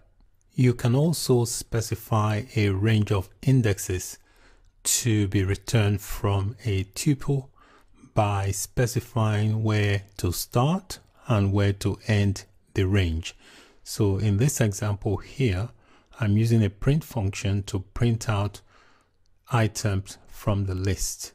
So I'm using a range. So what I'm saying is that I want to print from index 2 to 5. So what that will do, it will start the search from index number 2, which is giraffe, and it will end it before index number 5. It will not include index 5, so it will give me the index number 2, which is giraffe, and index number 3, which is goat, index number 4, leopard. But it will not give me index number 5 which is lion. So if I run that you can see here it's giving me giraffe goat and leopard. You can also use negative indexing on a range once you create a tuple you cannot change it what that means you cannot add to it neither can you change the values so in this cell here if I try to change the value of this tuple by trying to reassign the index of 0, which is this bear. If I try to replace that with kangaroo, I will get an error. So if I run that, you can see here, it tells me here, tuple object does not support item assignment. That's because once you create a tuple, you cannot append to it, you cannot change it. Another thing you can do is loop through a tuple. Looping basically means it will iterate through the tuple and print out each item. So I'm saying here, I'm using a for loop. So I'm saying for x in animals, print x. x will represent each item. So if I run the cell, you can see here is printing out all the items in the tuple. If you want to find out how many items there are in a tuple, there is a special function called len, which enables you to return the length of the tuple. So here I am wrapping the len function inside the print function and I'm passing in the name of the tuple inside the len function. So if I run that, that returns the length of the tuple, which represents the item in the tuple. You can also join tuples together. So in this example here, I'm going to be creating three tuples. So the first one is called letters, and I'm assigning it three values, A, B, C. Second tuple is called numbers, and I'm assigning it three values, one, two, three.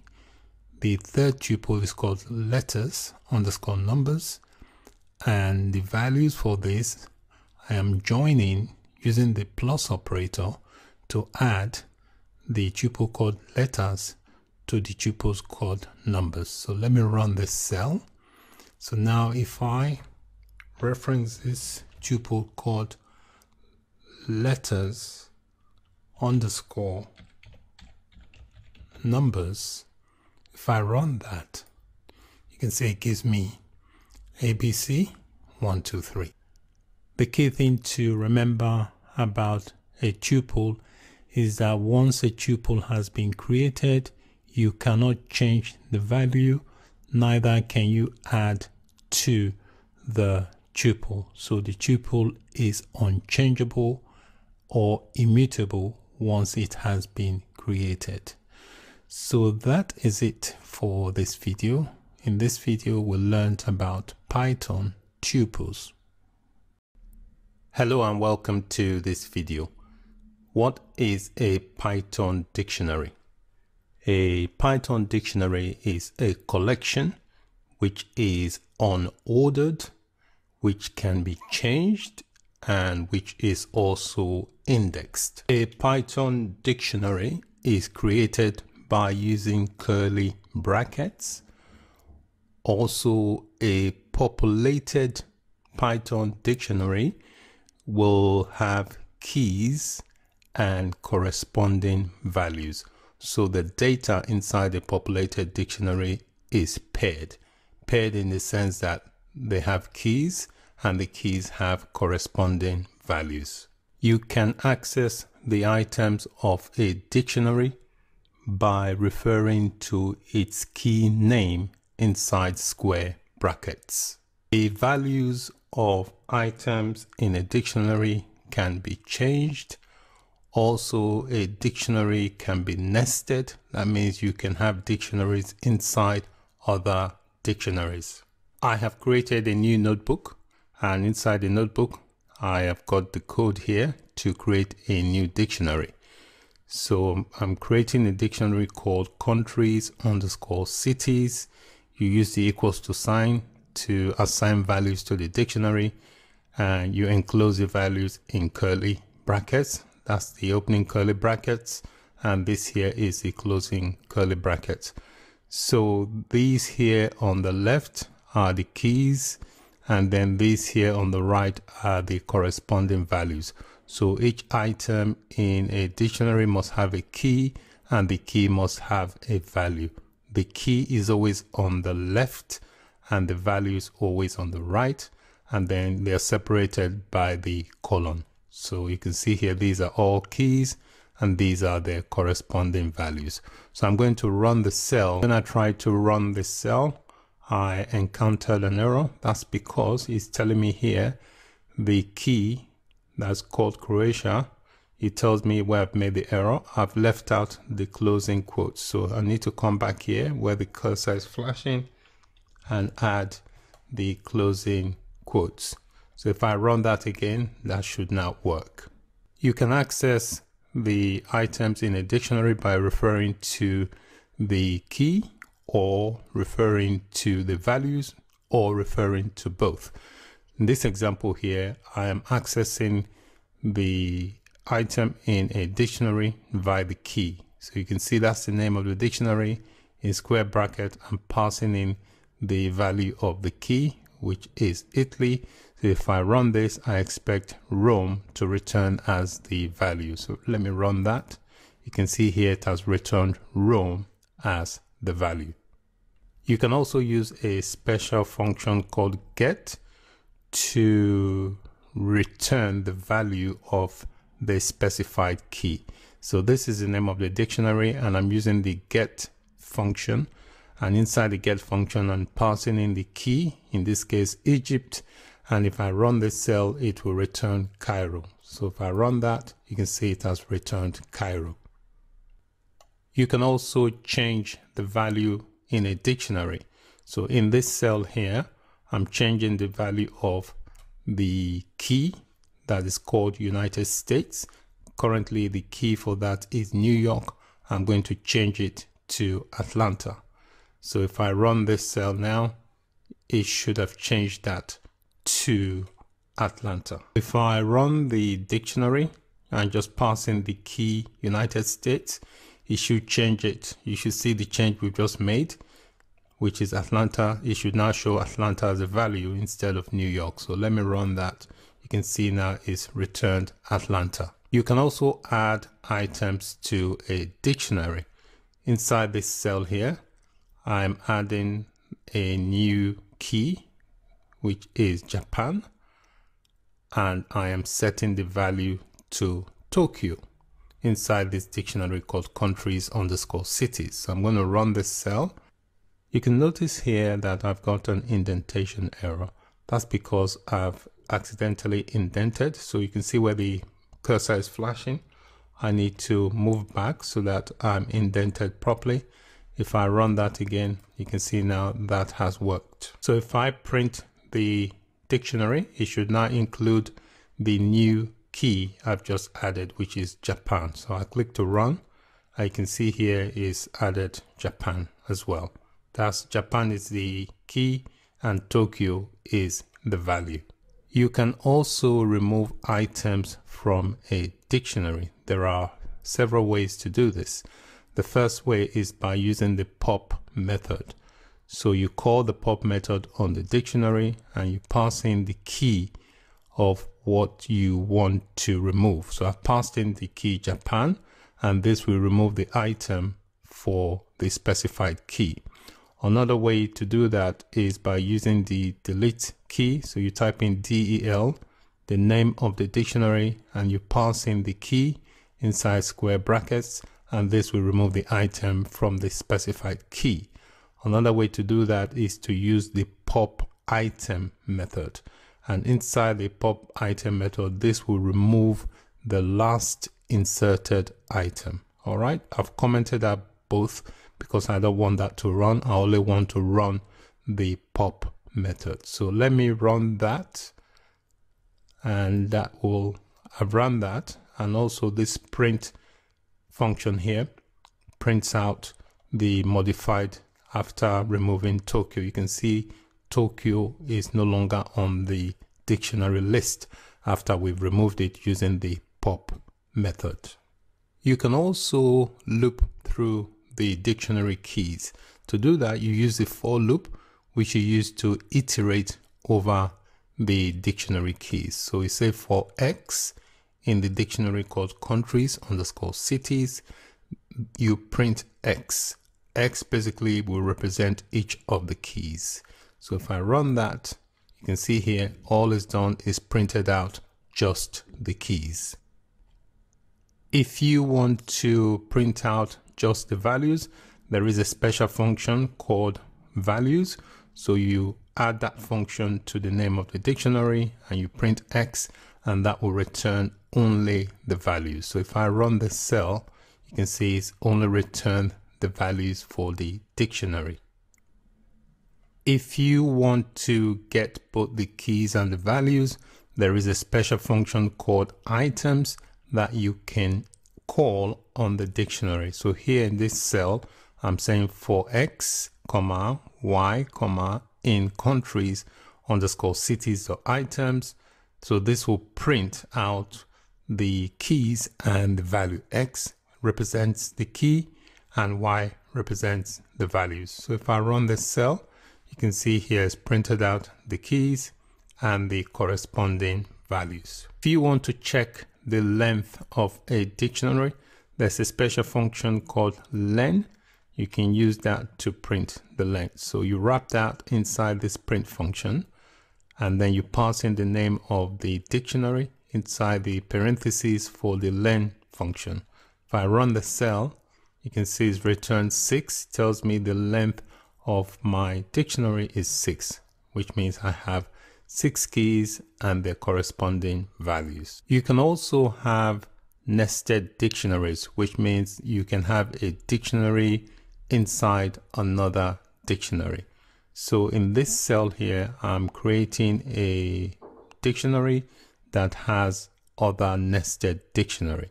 So the name of the dictionary is family and you can see it contains other dictionary. This is the first dictionary called first child, second dictionary called second child, and third dictionary called third child. So if I click to run the cell, that should create the dictionary. If you want to access a nested dictionary, you can do that by referencing the name of the parent dictionary and then in square brackets you pass in the name of the nested dictionary you want to access. So in this cell here I want to access the dictionary called second child. So if I run the cell you can see it's giving me the keys and the corresponding values for the dictionary called second child.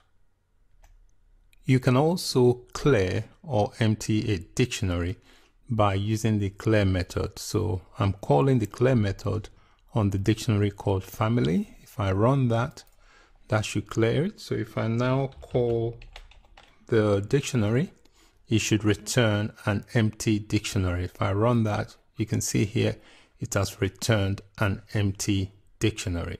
So that is it for this video. In this video, we learned about Python dictionaries. Thanks for watching. Bye for now. Hello and welcome to this video. What are Python operators?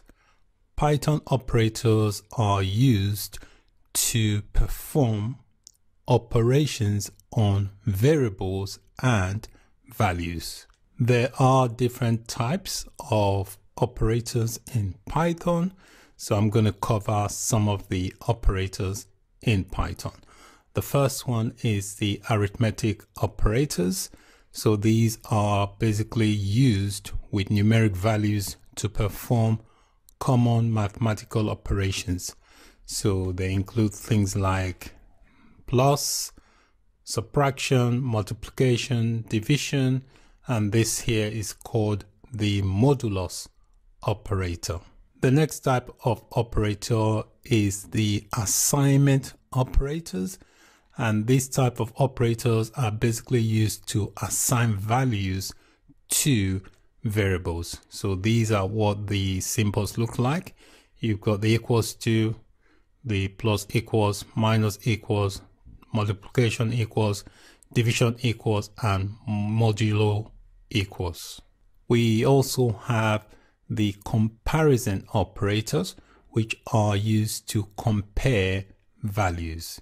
And they include double equals to, if you want to compare if two values are strictly equals to each other, you use the double equals to sign. If you want to check if one value is not equals to another, you use this.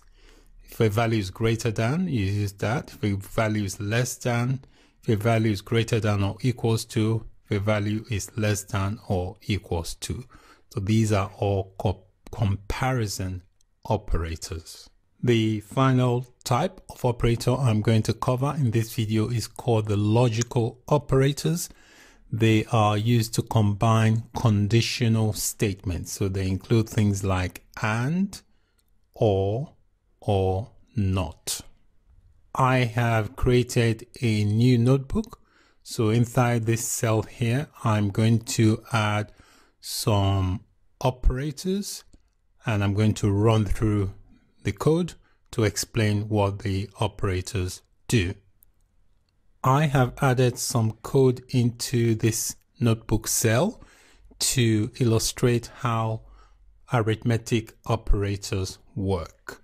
So I'm going to start with the addition operator. So here I'm creating two variable, variable x and variable y. Variable x, I've given a value of 7 and variable y, I'm giving a value of 5. So I'm using the print function to print the value of x plus y. So this here is the addition operator. All right. So I will run the cell later. I'm not running the cell now, but I'm just showing you the examples of the operators within the arithmetic operator. Here we've got two values, value x, value y. I'm using the print statement to print the value of x, subtract the value of y. So this here is the subtraction operator. Next, we've got the multiplication. The multiplication in Python is represented by the asterisk. Again, we've got two values, x and y. We are using the print function to multiply the value of x times the value of y. And then here we have two variables x is equals to 12, y is equals to 4, and we're using the print function to divide x by y. Slash is known as the division operator. We've got one more, which is the modulus operator. So we've got two values, values x equals 7, value y equals 5. We're using the print function to print x modulus y. Modulus basically means when you divide by a number, it will only, only return the remainder from that division. For example, if you divide um, 7 by 5, basically 5 can go into 7 once, remainder 2. So the modulus operator will return the remainder, which is 2. So let me run the cell and you can see the output. You can see here the first value here is 12, which is x plus y. So 7 plus 5 is 12. And the second value here is 2. So if you take away 7 from 5, which is the subtraction operator, that gives you 2. The third value here says 35, which is multiplication. If you multiply 7 by 5, that will give you 35. Next one is the division. If you divide 12 by 4, that will return 3. And for the modulus operator, modulus will always return the remainder. So 5 can go into 7 1, remain one time, remainder 2. So it returns the remainder, which is 2. So this is how the arithmetic operator works. I've added some code into my second cell in my notebook. This is the second cell. And this code here is going to illustrate how the assignment operator works. Assignment operators basically used to assign values to variables. We already used that in the previous example for the arithmetic operator. You can see all this equals to sign here. We're using it to assign values to variables. All right. So there are different types of assignment operators. So here I've got a variable called city I've given it a value of London using the equals to, which is the assignment operator. So here I'm telling the print function to print the value of city. Here I've got two values, two variables, x equals to 7, and then x equals to plus equals to. When you have a plus equals to, you're basically saying add these three to the value of x. So when you print x, x will now print 10 because x is 7 and we're saying we're calling the value we're calling x here and we're adding plus equals to means add 3 and then you're using the equals to to assign the 3 to the 7 making it 10 so the same process with the minus if you do a negative equals to that means you're taking 3 away from the value of x. Same thing with the multiplication. What, what that is saying is that you are multiplying 3 by 7. With the division, the same thing. You are multiply you are dividing 3, the value of 3 here, slash equals to mean divide equals to. You are dividing that by 3, that will return 2. Same example with the modulus here. We've got the variable x equals to 7 then x equals to the percent equals to which is modulus equals to 3 what that means is that for the modulus operator you're going to divide 3 by 7 and return whatever is left so this here print x will return 1 because 3 can go into 7 two times it will have one remainder that's what this print x is going to return so let's run this cell and then we can see so you can see here, these are all the values. Let's go to the top of the value. It says the we're printing X here, which is the value of city. And you can see here it prints London. And then the next one here, we have the variable X and we're adding three to it. So we print X, X now becomes 10. So the same thing here, we've got the variable X, which is seven. We using the negative equals to it will subtract 3 from that. That will return 4 and then here we're multiplying 3 by 7 give us 21 and here for the division we're dividing 3 by 6 gives us 2 and here for the modulus 3 goes into 7 two times remainder 1 so the modulus will return 1 I have added some more code to a new cell here to illustrate how the comparison operators works.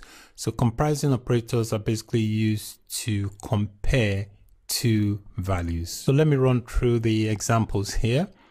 Here I've got a variable x equals to 7, variable y equals to 3. I'm using the print function to check the comparison. Where you have a double equals to, it means you are comparing. So it's saying print x is equals to. A single equals to is used to assign a value where you have a double equals to is used to compare a value. So note the difference. Here x equals to 7 is a single equals to that is used to assign values to variables. Here in the print function, I am checking comparison here. So I'm checking if x is equals to y. All right, so this, if I run the cell, this is going to return false because 7 is not equals to 3. If we look in this example, x equals 7, y equals to 3, print x, where you have the question mark, it means print x is not equals to y. This will return true because x which is 7, is not equals to 3. And then we have, again, I'm going to use the same variables for the examples. Variable x is 7, variable y is 3. I'm using the print function to print is x greater than y. This will return true because 7 is greater than 3. Same thing here. We're checking is x less than y. This is return false because 7 is not less than 3. Again, the same thing, we're checking x is less is greater than or equals to y. This will return true because 7 is greater or equals to 3. In this example, same thing, check if x is less than or equals to y. This will return false because 7 is neither less than or equals to 3. So let me run the code and you can see the output with a comparison um, operator, you always get a true or false value because you're checking things. Is this equals to what and so on. So you always get a Boolean result.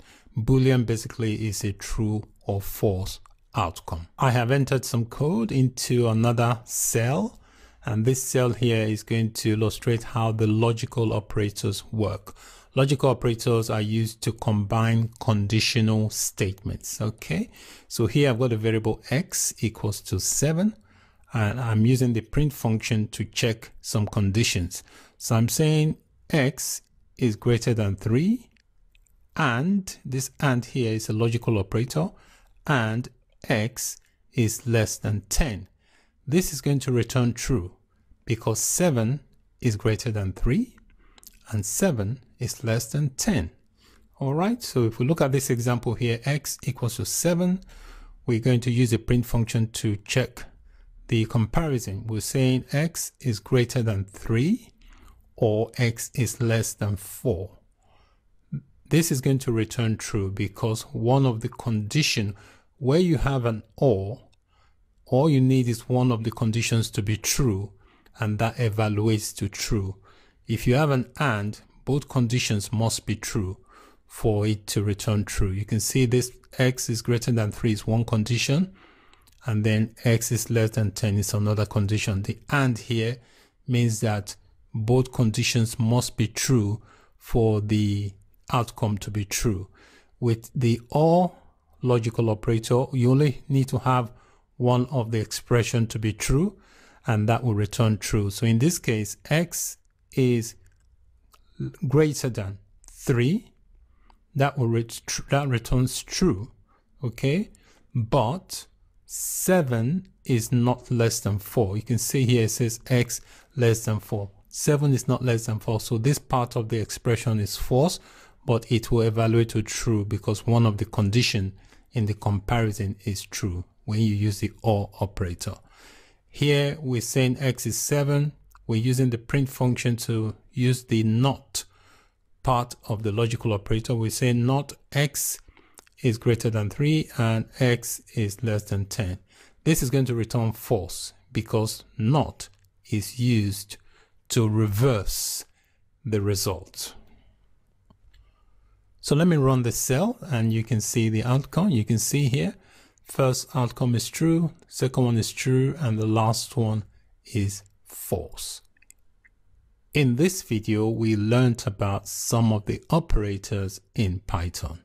Thank you for watching. Bye for now. Hello and welcome to this video. In this video, we are going to learn about Python conditional statements. What are conditional statements?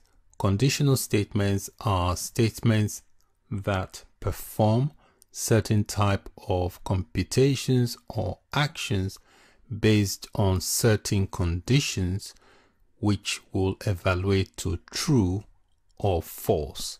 These conditions are known as Boolean conditions.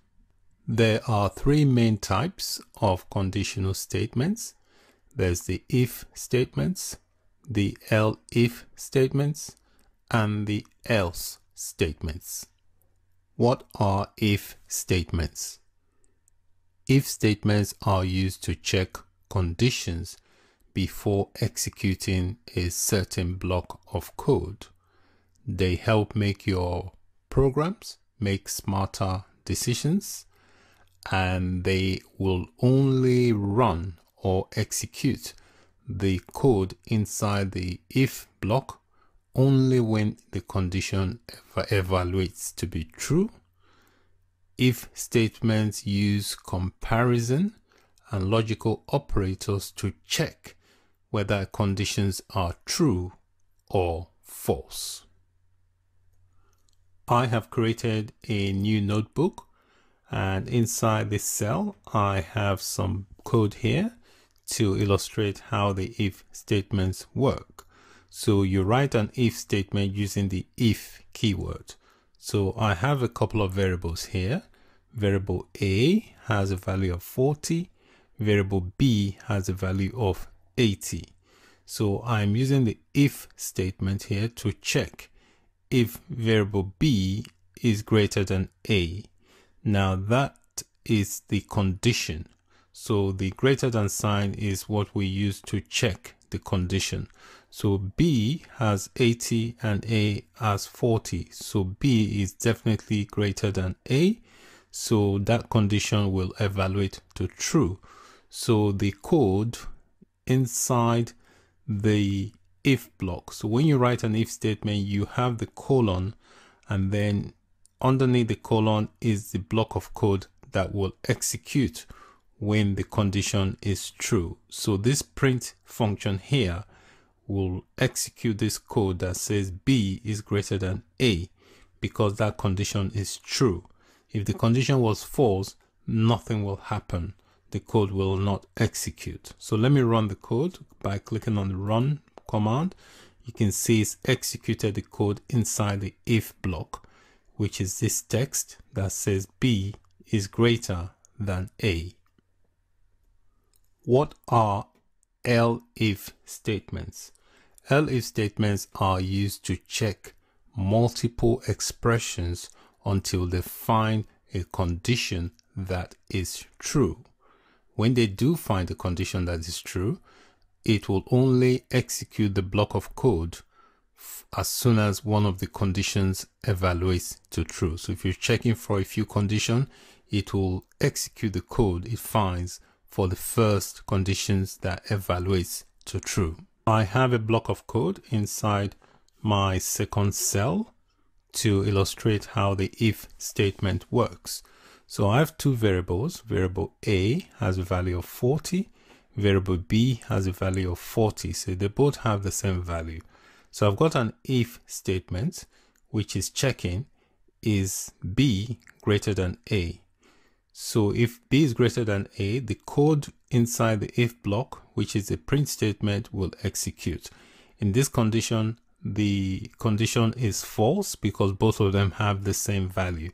So that code inside the if block will not execute. And then we have the code in the elif block, which is checking.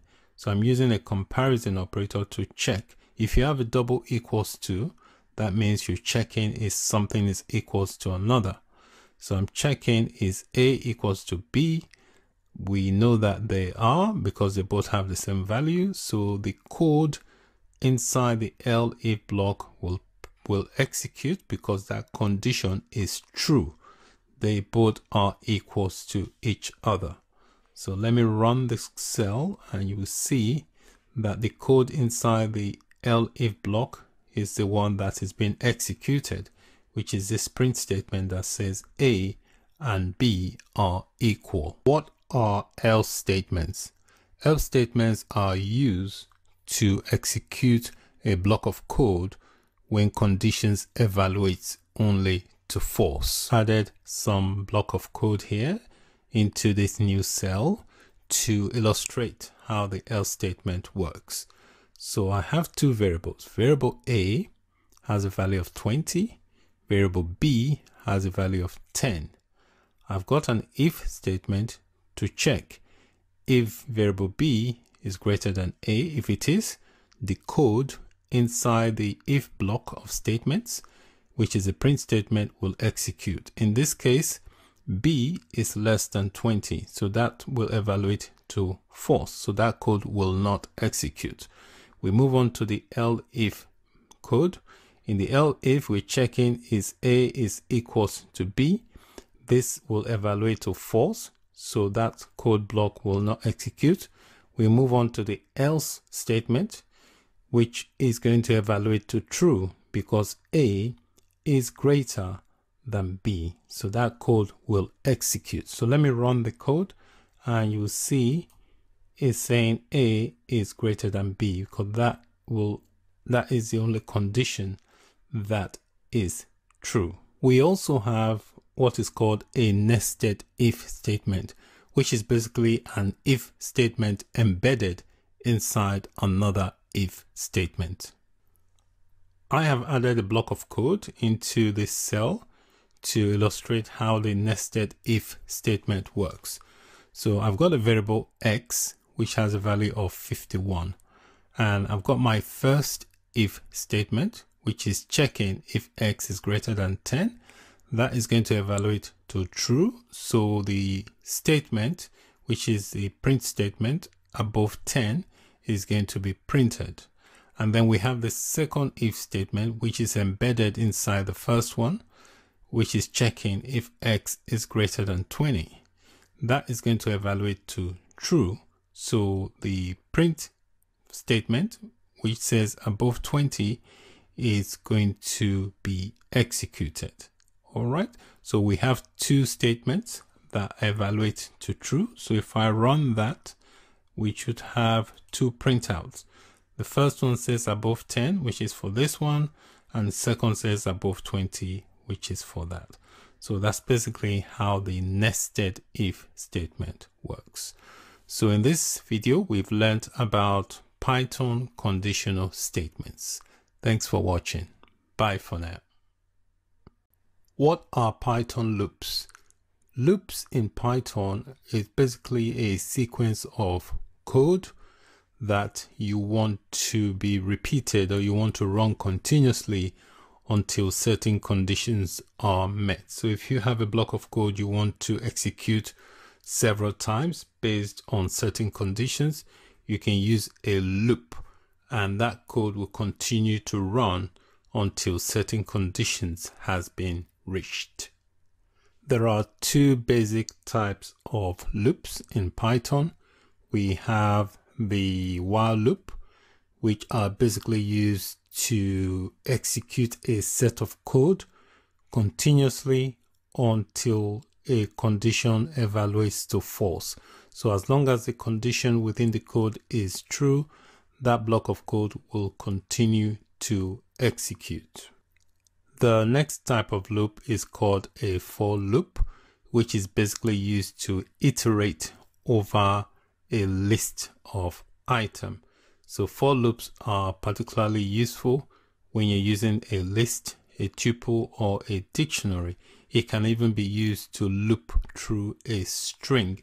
So the for loop, if you want to iterate and say print out certain elements or all the elements in a list, you can use a for loop to iterate over that sequence. I've created a new notebook Inside the notebook cell here, I've added some code to illustrate how the while loop works. So with a while loop, you have to have an initial starter point. So I'm doing that with this variable called i, and I've set the variable to a value of 1. So now that we have a starting point, you can now start the while loop. So to implement a while loop, you type in the keyword while and then you specify the conditions you are trying to check for. So I'm saying this variable i, as long as this variable i is less than 7, I want this print function to keep printing the value of i. So what this will do, it will continue printing i until it reaches 7. So once it goes past 7, that condition becomes false and the loop will stop also when you have a while loop it is very very important to add an increment counter because the variable has a value of 1 so here you can see I have this counter here plus equals to which is means it's going to be adding 1 to the value of that variable each time. So the first loop will run it will print out the value of 1 and then this statement will add plus equals to means add 1 to the value of the variable i. So it will keep adding 1 until it gets until it exceeds that level. So the moment it comes to 7, the loop will stop because it would have evaluated to false because i will no longer be less than 7. So but it's very important you add this increment counter if not the loop will go on forever. It will never be false. So the counter is very important so that at some point it evaluates to false. All right. So let me run this and then you can see what I mean. You can see here it will print, it prints up to six. It doesn't print seven because that basically is where the condition becomes false. So it will keep printing as long as this condition is true. So once it becomes greater than 7, it turns to false and then the loop stops. But it's very important that you always add the increment to the original value, which is 1. If not, the loop will continue forever, which is which means that this condition i will always be less than 7 if you don't add this increment to be adding 1 each time the loop runs to the original value. I've added some code here into this second cell to illustrate how to use the break statement with a loop. So the break statement basically is used to stop a loop even if the while condition is true. So here we can see the counter i, the variable i is equals to 1 and I'm setting the while loop to say while i is less than 7 I want it to print the value of i and you can see here the increment counter is very important so that the loop will eventually um, evaluate to false and it will stop running. So you can see here I'm adding a break statement. So I say if when i becomes equals to 4 I want there to be a break. All right so let's see how that works. We'll run that. And you can see here it stops at 4 even though the condition is still true because i at this stage is still less than 7 but we are breaking the loop using this break statement you can also have the continue statement which you can use to continue from where you stopped within the current iteration of that loop so the continue works slightly different from the way the break statement works. So here we've got the variable i equals to 0 and we're saying that while i is less than 7, here you can see we are adding the increment here because initial value is 0 so we are not increasing the value to 1 and here we're saying if i when i becomes 4 continue and then we're telling it to print i. So you will see here in when I run this cell that the number four is going to be missing from the report, from the result, because we, we're telling it to continue when it gets to four. So it will skip four and then continue with the loop. So if I click run, you can see here, it does one, two, three, it skips four and then prints out the rest. I've got some code in this cell here to illustrate how the for loop works. So with a for loop, you have to use that to iterate over a list. So I've got a list here called fruits and it's got different elements in it. So if I can use a for loop to iterate over this list of items and then print out each value. So to implement a for loop, you type in for, x here is going to represent each item in this list called fruits. So I say for x in fruits, print X. So if I run the cell here, you can see here it's printing out all the items within that list. You can also use a for loop to iterate into a string. So you see here, I've got a string called strawberry. I can use a for loop to iterate over each character within this string called strawberry. So if I run that, you can see here is printing out all the letters that make up the word strawberry. You can also have a nested for loop, which is a loop inside another loop. So here I have two lists. The first is called ADJ and the second is called fruits. They both have three items. So uh, here I'm implementing a for loop. So I'm saying for X in the first list called ADJ, X will represent each item. And then the second loop, I will say for Y, Y represent each item in the list called fruits. So I'm using the print statement to print X, which would print all the items in the list X and the items in the list called Y. So if I run that to make more sense, you can see here it's saying red which is this value and then apple for the other one and so on okay so that's basically how a nested for loop works. It's a loop inside another loop. In this video we learned about python loops. Thanks for watching. Bye for now. Hello and welcome to this video. In this video you will learn about python functions. You learn how to create a function and also how to call or activate a function. What are functions? In Python, functions are pieces of code or code blocks that are used to do something. Basically, they are a group of related statements that are used to perform a specific task. Functions are useful. They help break your programs into smaller and modular chunks so that as your program grows larger and larger, the functions makes the programs more organized and easier to manage.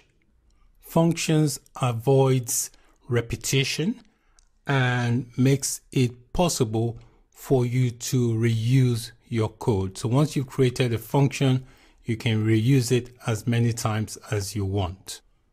Once you've created a function, the function does not do nothing until you activate or call the function.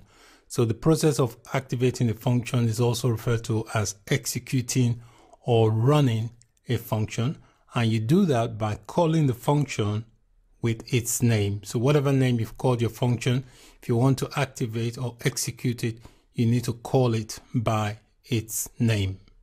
When you create functions, you can have them have parameters, which are variables. So you can create a function and then pass in variables, which are known as parameters. And also when you are calling or executing the functions, you have to call it and supply arguments. The arguments are referred to as values.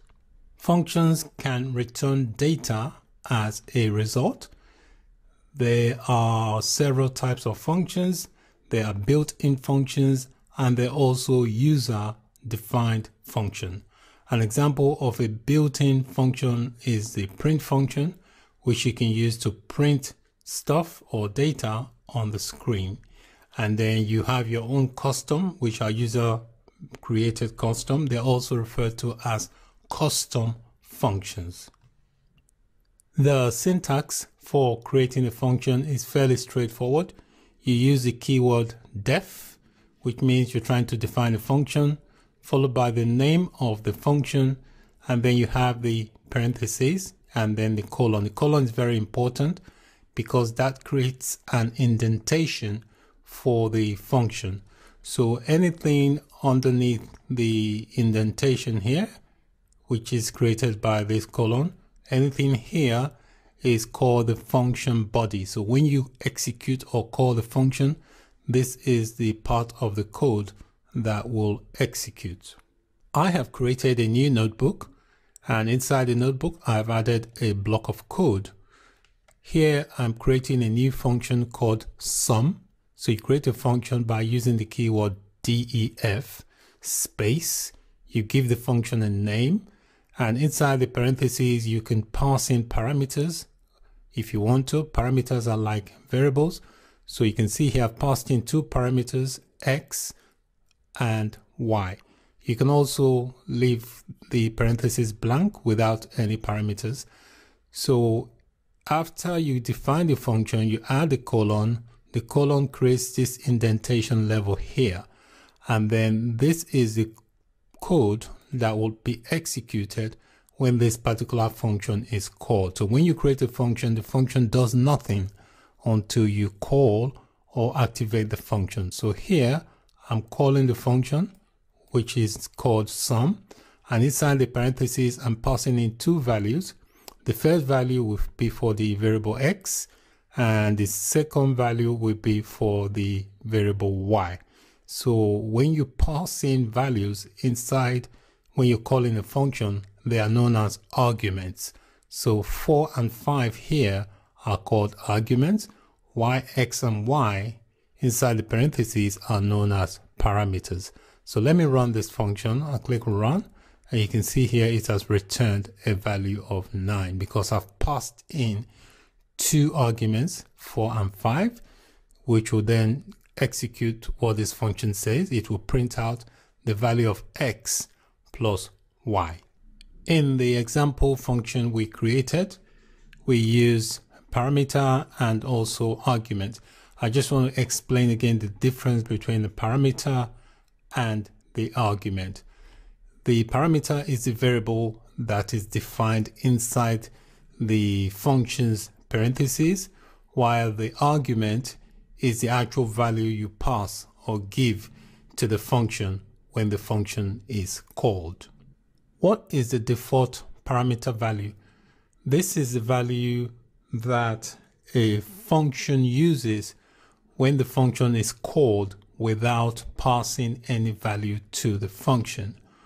Only parameters at the end of a parameter list can have a default value as values are assigned by their position.